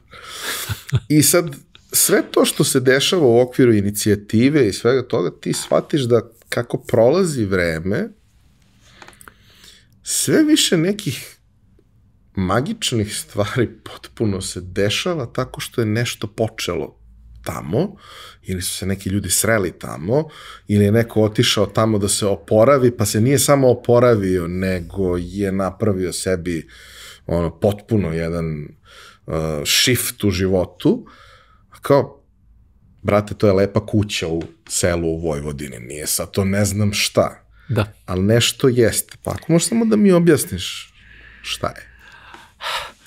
E, meni je e, e, ono Mokrin House nešto što mi je ono u, u čemu sam u poslovnom, poslovnom smislu, u, u čemu sam našao smisao uh, i jako sam ponosan na to da, da, da sam pokrenuo to.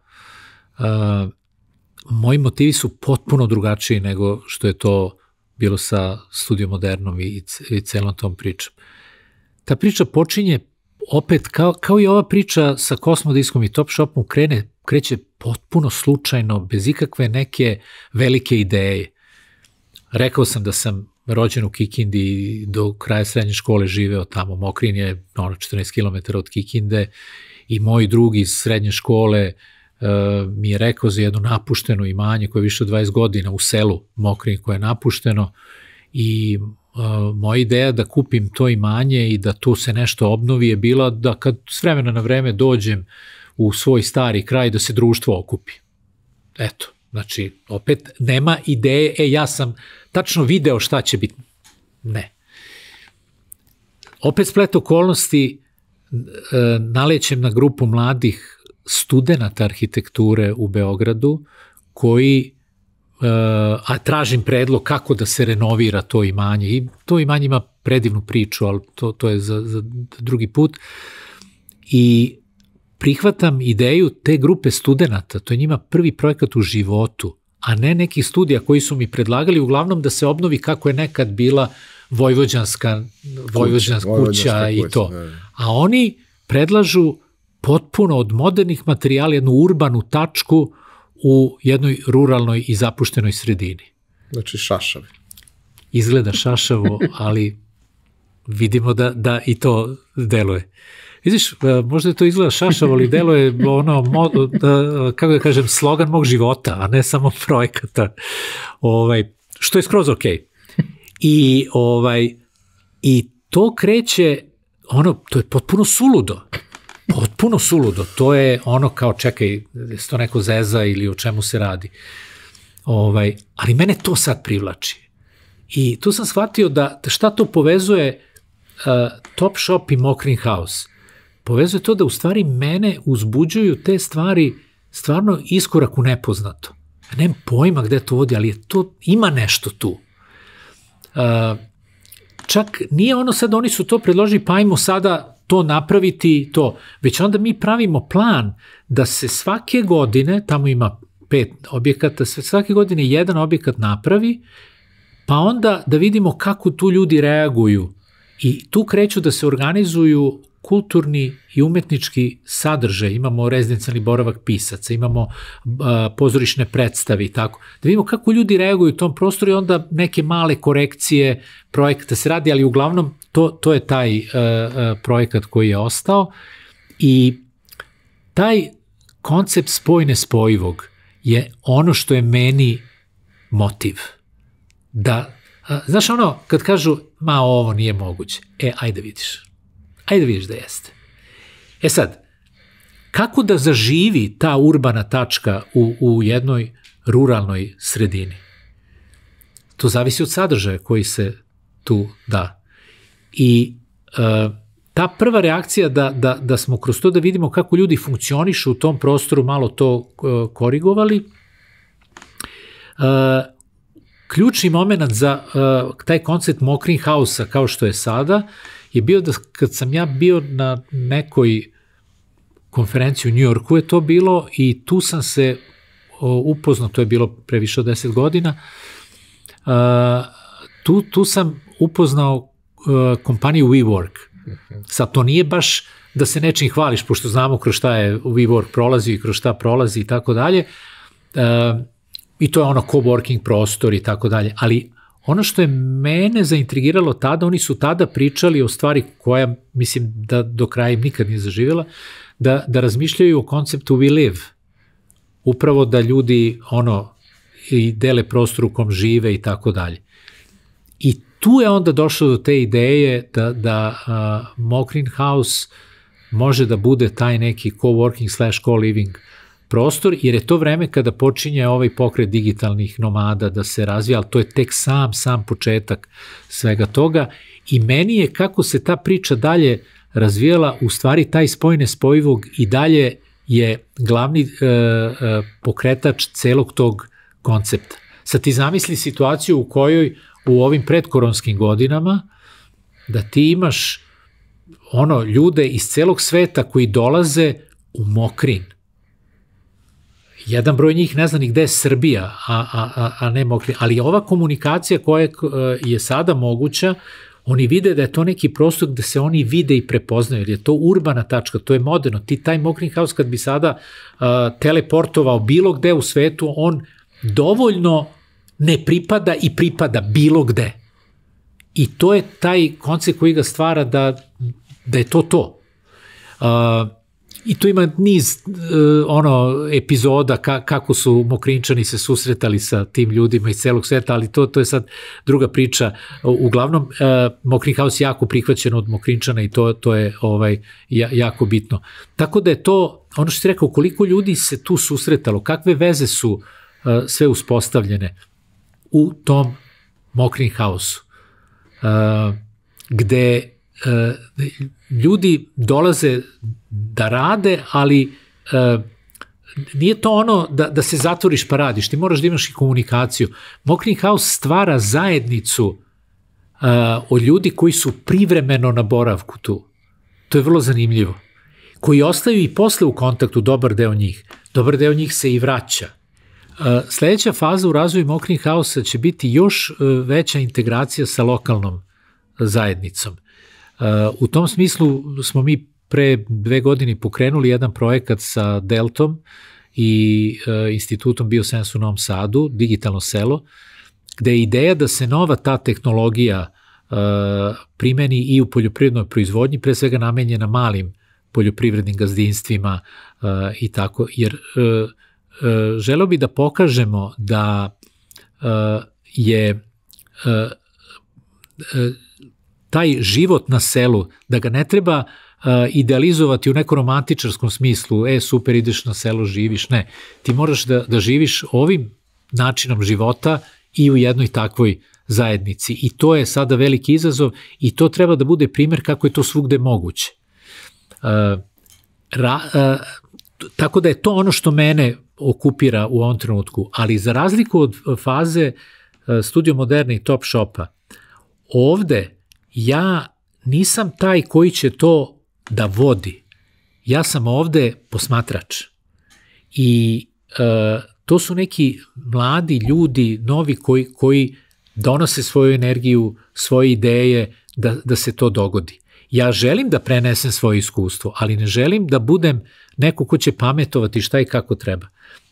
Zato e, sam tu više posmatrač i volim da provodim vreme tamo, e, dajem svoje mišljenje, svoje predloge, ali ne želim da, da ih namećem. Zato što ovo je stvarno traganje za jednim modelom. Mi smo još na putu to, mi nismo došli dotle, ali smo na, na tom putu. I Mokrin House mi je pomogao da sebe definišem u ovoj nekoj životnoj fazi. Tako da kad me neko danas pita šta sam ja, ja sam iskusni početnik. I ponosan sam na to. Drago mi je da smo došli na tu temu. Vratit ću se na nju. Hoću samo da zaokružimo priču sa Mokrim Hausom na jedan način, a to je došao je COVID. Promenio sve. Nije više bilo stranaca koji bilo gde putuju zato što niko nije putovao nigde.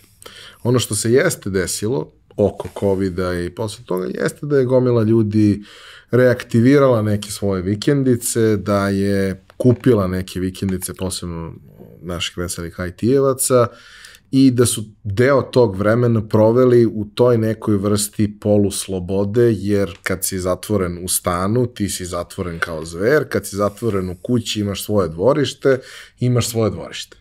Pa ako je rodila trešnje, onda imaš čime da se zabavljaš, a ako nije, uvek imaš da pokosiš makara i da se igraš sa psom. Ovaj, međutim, ono što se desilo, desilo se da to uglavnom, dakle, ok, ljudi koji su imali od nasleđa i tako dalje, oni su išli tamo gde, gde imaju. Oni koji nisu su uglavnom gledali da u okolini svojih gradova nabave da. nešto. I to je ono, kao to je tu blizu je, ne znam, jedan od mojih najboljih prijatelja ima na Kosmaju. Kao to je tu blizu je. I ti shvatiš da to tu blizu je 55 minuta vožnje u jednom smeru, 55 nazad. Nije blizu.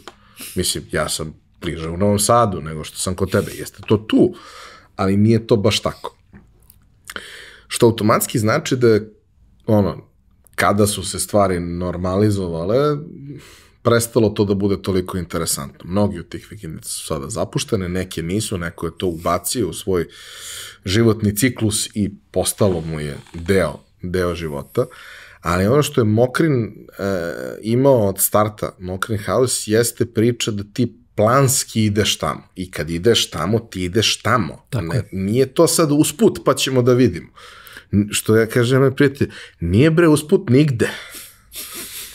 tač, tač. I ima taj moment, sećam se kad, je, kad, kad smo vodili ovaj, drugara jednog tamo Amerikanca, da je to moment da ti sad staviš to i ti si bukvalno na tromeđi na dva i po sata od tri aerodroma. Tako je. Što je super, jer dva i po sata nije mnogo. To je taman prihvatljivo, a dovoljno nije usput da moraš da ideš ciljano tamo. I onda su se ciljano tamo ljudi posvete deo vremena odvoje neko vreme i kažu ja sad tamo idem na četiri dana i ja sam tamo 100% ta četiri dana. Nisam ja otišao tamo da budem na pozivima non stop da ok, Tako neko je. kome je to usput će možda to i raditi, ovi koji putuju stalno, njima je to deo ciklusa. Ali svi oni koji su to primarno lokalno, regionalno koji su dolazili, su dolazili ciljano tamo da se najčešće oporave od stvari Tako koje su se dešavali. Mislim da je to jedna specifična i energetska stvar, ali i vrlo važna geografska činjenica da si ti na dva i po sata od tri aerodroma, što je tačno dovoljno daleko da s namerom dođoh Tako je. u Mokrin. Tako je, ti ne, mo- ne, ne isplatiti si nemoguće da ti dođeš, budeš par sati pa se vratiš, to, to, to nije to. I, to. I ono što je na početku izgledalo kao velika mana, da je to od Beograda dva i po sata, ne znam, ovaj, uh, uh, se pokazalo u stvari kao prednost. I sada kada već uh, govorimo o ovom post-covid periodu, još uvek se ta putovanja tih individualnih digitalnih nomada nisu vratila u punom smislu, ali ono što transformacija koja se desila, desila se u, u korporativnom svetu, jer sada je novi trend, kao što svi znamo, taj rad od kuće ili work from anywhere, i, ali šta kompanije shvataju? Da taj rad od kuće uh, utiče na uh, socijalnu povezanost ljudi u timovima. I mi sad imamo povećan interes kompanija koje žele za svoje timove retreat na tako nekim mestima.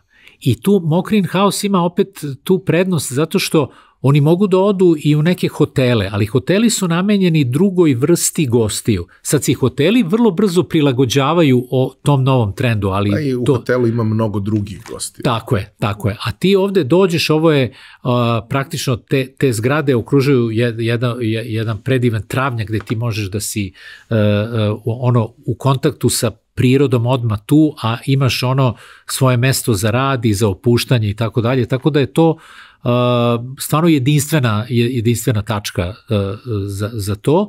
I ono što to opet donosi, jer ljudi koji su angažovani, koji rade tamo, to su ljudi iz sela, to, to, to je Tako da ćemo mi raditi dosta projekata da uh, vraćamo život i u selo uh, uh, kao takvo.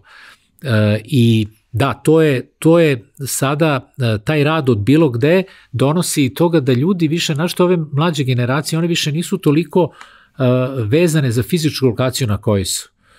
I to će još povećati tu, tu fluktuaciju što, što, će i nama, što i nama ide, ide u prilog. Nego iskusni početniče. Dobro. Pokrenuo si blog. Ima tome sad već neke godine. Na srpskom i na engleskom neki od nas ovde su čitali taj blog redovno, dok je on redovno, relativno, redovno izlazio. Prvo, zašto si ga pokrenuo? Šta ti je bio motiv? Uh, a drugo, zašto je on sad negde u neko, na nekom holdu? Ha. ha. Imamo neko lakše pitanje ili... Možda za nižu ocenu. a, Pa, evo, razlog zašto sam ga pokrenuo, kad sam došao do te spoznaje, to kad sam sebe definisao kao iskusni početnik, ja sam jako ponosan na sve ono što sam uradio, ali svestan sam da se prosto takvo je vreme da se toliko toga promenilo, da to moje iskustvo ne može biti uh, ono jednostavno primenjeno ne, na ne ovu novu situaciju. Ne da. može, ne može. I uh, jednostavno uh, i životna i profesionalna faza je takva da to ne, neću ni da pokušam. Ali uh, ideja i, iza bloga Iskusni početnik je da iz te svoje perspektive, svog iskustva, sa svim i ograničenjima koje to nosi, komentarišem neke aktuelne trendove. Kao prosto moje viđenje toga. Uh, uh, jedan sebični razlog za to je da, da mene promišljanje o tome jako, jako privlači uh, i mislim da mi živimo u jednom vremenu kada treba biti jako oprezan davati neke konačne odgovore na izazove koje ovo vreme nosi. Sada da parafraziram ovaj uh, uh, jednog uh, starog filozofa, ne daj mi Bože da živimo u zanimljiva vremena. Mi živimo u vrlo zanimljivim vremenima, uh, Na jako zanimljivom mestu. Na jako zanimljivom mestu i ovo su takva vremena kada neizvesnost uh, uh, nikad nije bila veća, govorim sada i za naše generacije, bukvalno od globalnog do, do lokalnog uh, nivoa. Takva, takva vremena koje su i bila u, u istoriji, tako dalje, ovaj, uh, proizvode dva efekta. Jedan deo ljudi je uplašen, jer ne zna šta, šta nosi dan, šta nosi noć i šta će biti sutra, a jedan deo ljudi, manji, smatra da ima odgovore na sva pitanja i nameće te, te, te svoje ta svoje mišljenja, stavove i tako dalje. I zato kada vidimo, mi vidimo da živimo u, u jednom periodu gde je potencijal za, za rast i razvoj ogroman, a istovremeno se a, sve a, više razvijaju konflikti i unutar društava i na globalnom nivou, tako da je su baš zanimljiva vremena i nisam baš srećan što u tako zanimljivim vremenima živimo, ovaj, ali to je, to je druga tema. I moja ideja sa ovim iskučnim početnikom je ne da dociram oko stvari koje su oko, već da prosto dajem neko svoje mišljenje i prosto neku svoju perspektivu koja je možda dobra, možda nije dobra, možda nekom istrigeruje da razmišlja o nečemu i to, to, to je meni ovaj uh, glavni motiv. E sad, drugi deo pitanja, šta, šta se dešava sa, sa blogom, kao što sam ga i pokrenuo onako, ajde ok, pokrenut ću ga, ja nemam pravi razlog da kažem zašto sam s tim ovaj, stao. Uh, znam da želim da nastavim. E sad, bojim se da, da sada javno ne dam obećanje, jer onda ću morati da se pridržavam toga, ali evo reću, vratit ću se. Us, i, iskusni početnik je uh, još uvek iskusan uh, i još uvek početnik. Hvala ti za stvari koje si pisao, zato što kod mene to vrlo često izazivalo baš taj efekat da me ostaviš sa nekim pitanjem i nekom temom za razmišljanje, da mi daš možda neki uvid koji ja sa svojim iskustvom koje je preveliko za ovaj broj godina, ali ima mnogo iskusnijih, ima mnogo drugačijih uglova gledanja na stvari, da mi daš neki uvid koji ja pokušavajući da pokrijem 360 ipak nisam video sa neke strane, što mi onako, što se ne dešava često i mnogo mi je drago kad se desi, jer to znači da postoji prostor.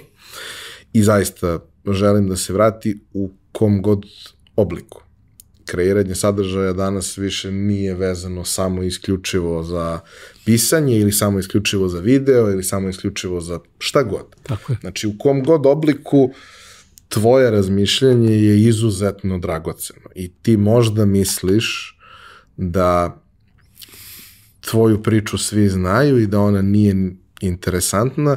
Ja je znam prilično dobro i danas sam čuo mnogo stvari koje nikad pre toga nisam čuo i za mene je ovo bilo jedno izuzetno prijatno, lepo, ali i vredno iskustvo. Hvala ti mnogo. Ali A... pogodio si, ja se jako često pitam, a ko, koga to zanima, šta ja mislim o bilo čemu? Možda treba da pozovemo ljude da ti sve na vreme kažu da im to znači, ali dobro.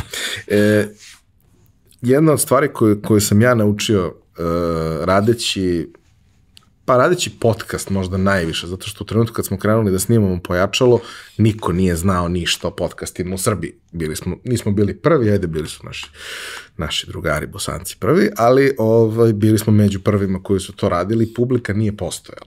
Ti sad učiš nekog da sluša nešto, niko ne sluša, ljudi gledaju na YouTube-u, pa što ste na crnom, pa što pa što pričate toliko, što upadaš ljudima, dobro, ne mogu sad da objašnjam, nije ni važno, ali poenta jeste da u startu kad kreneš da radiš nešto tako, šta god da je u pitanju, ti si ludak koji priča u crnu kutiju i niko nema nazad ništa.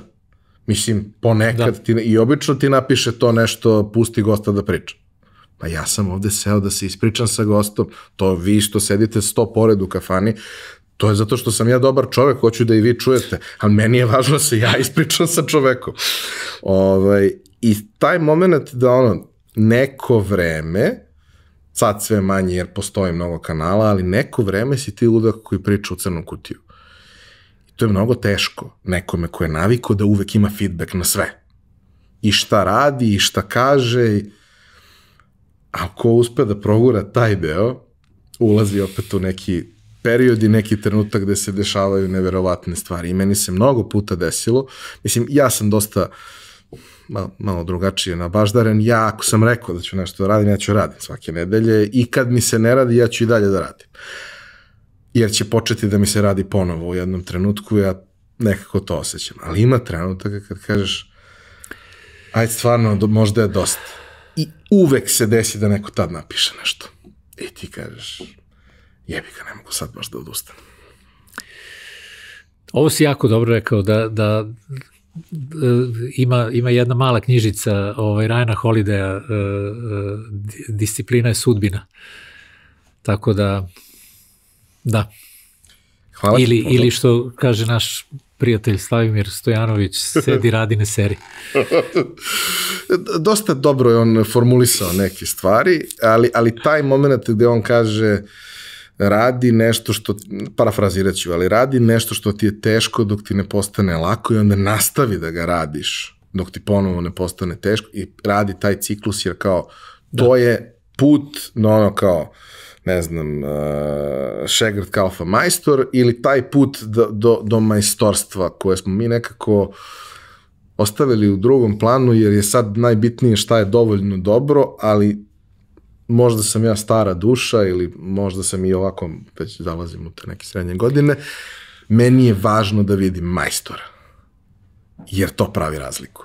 I kad god mi neko kaže, kao ne znam, odeš na, ja ne idem toliko često u pozorište, volim da idem, ali ne idem često. I kao, odeš i nemaš pojma ko su ljudi koji igraju.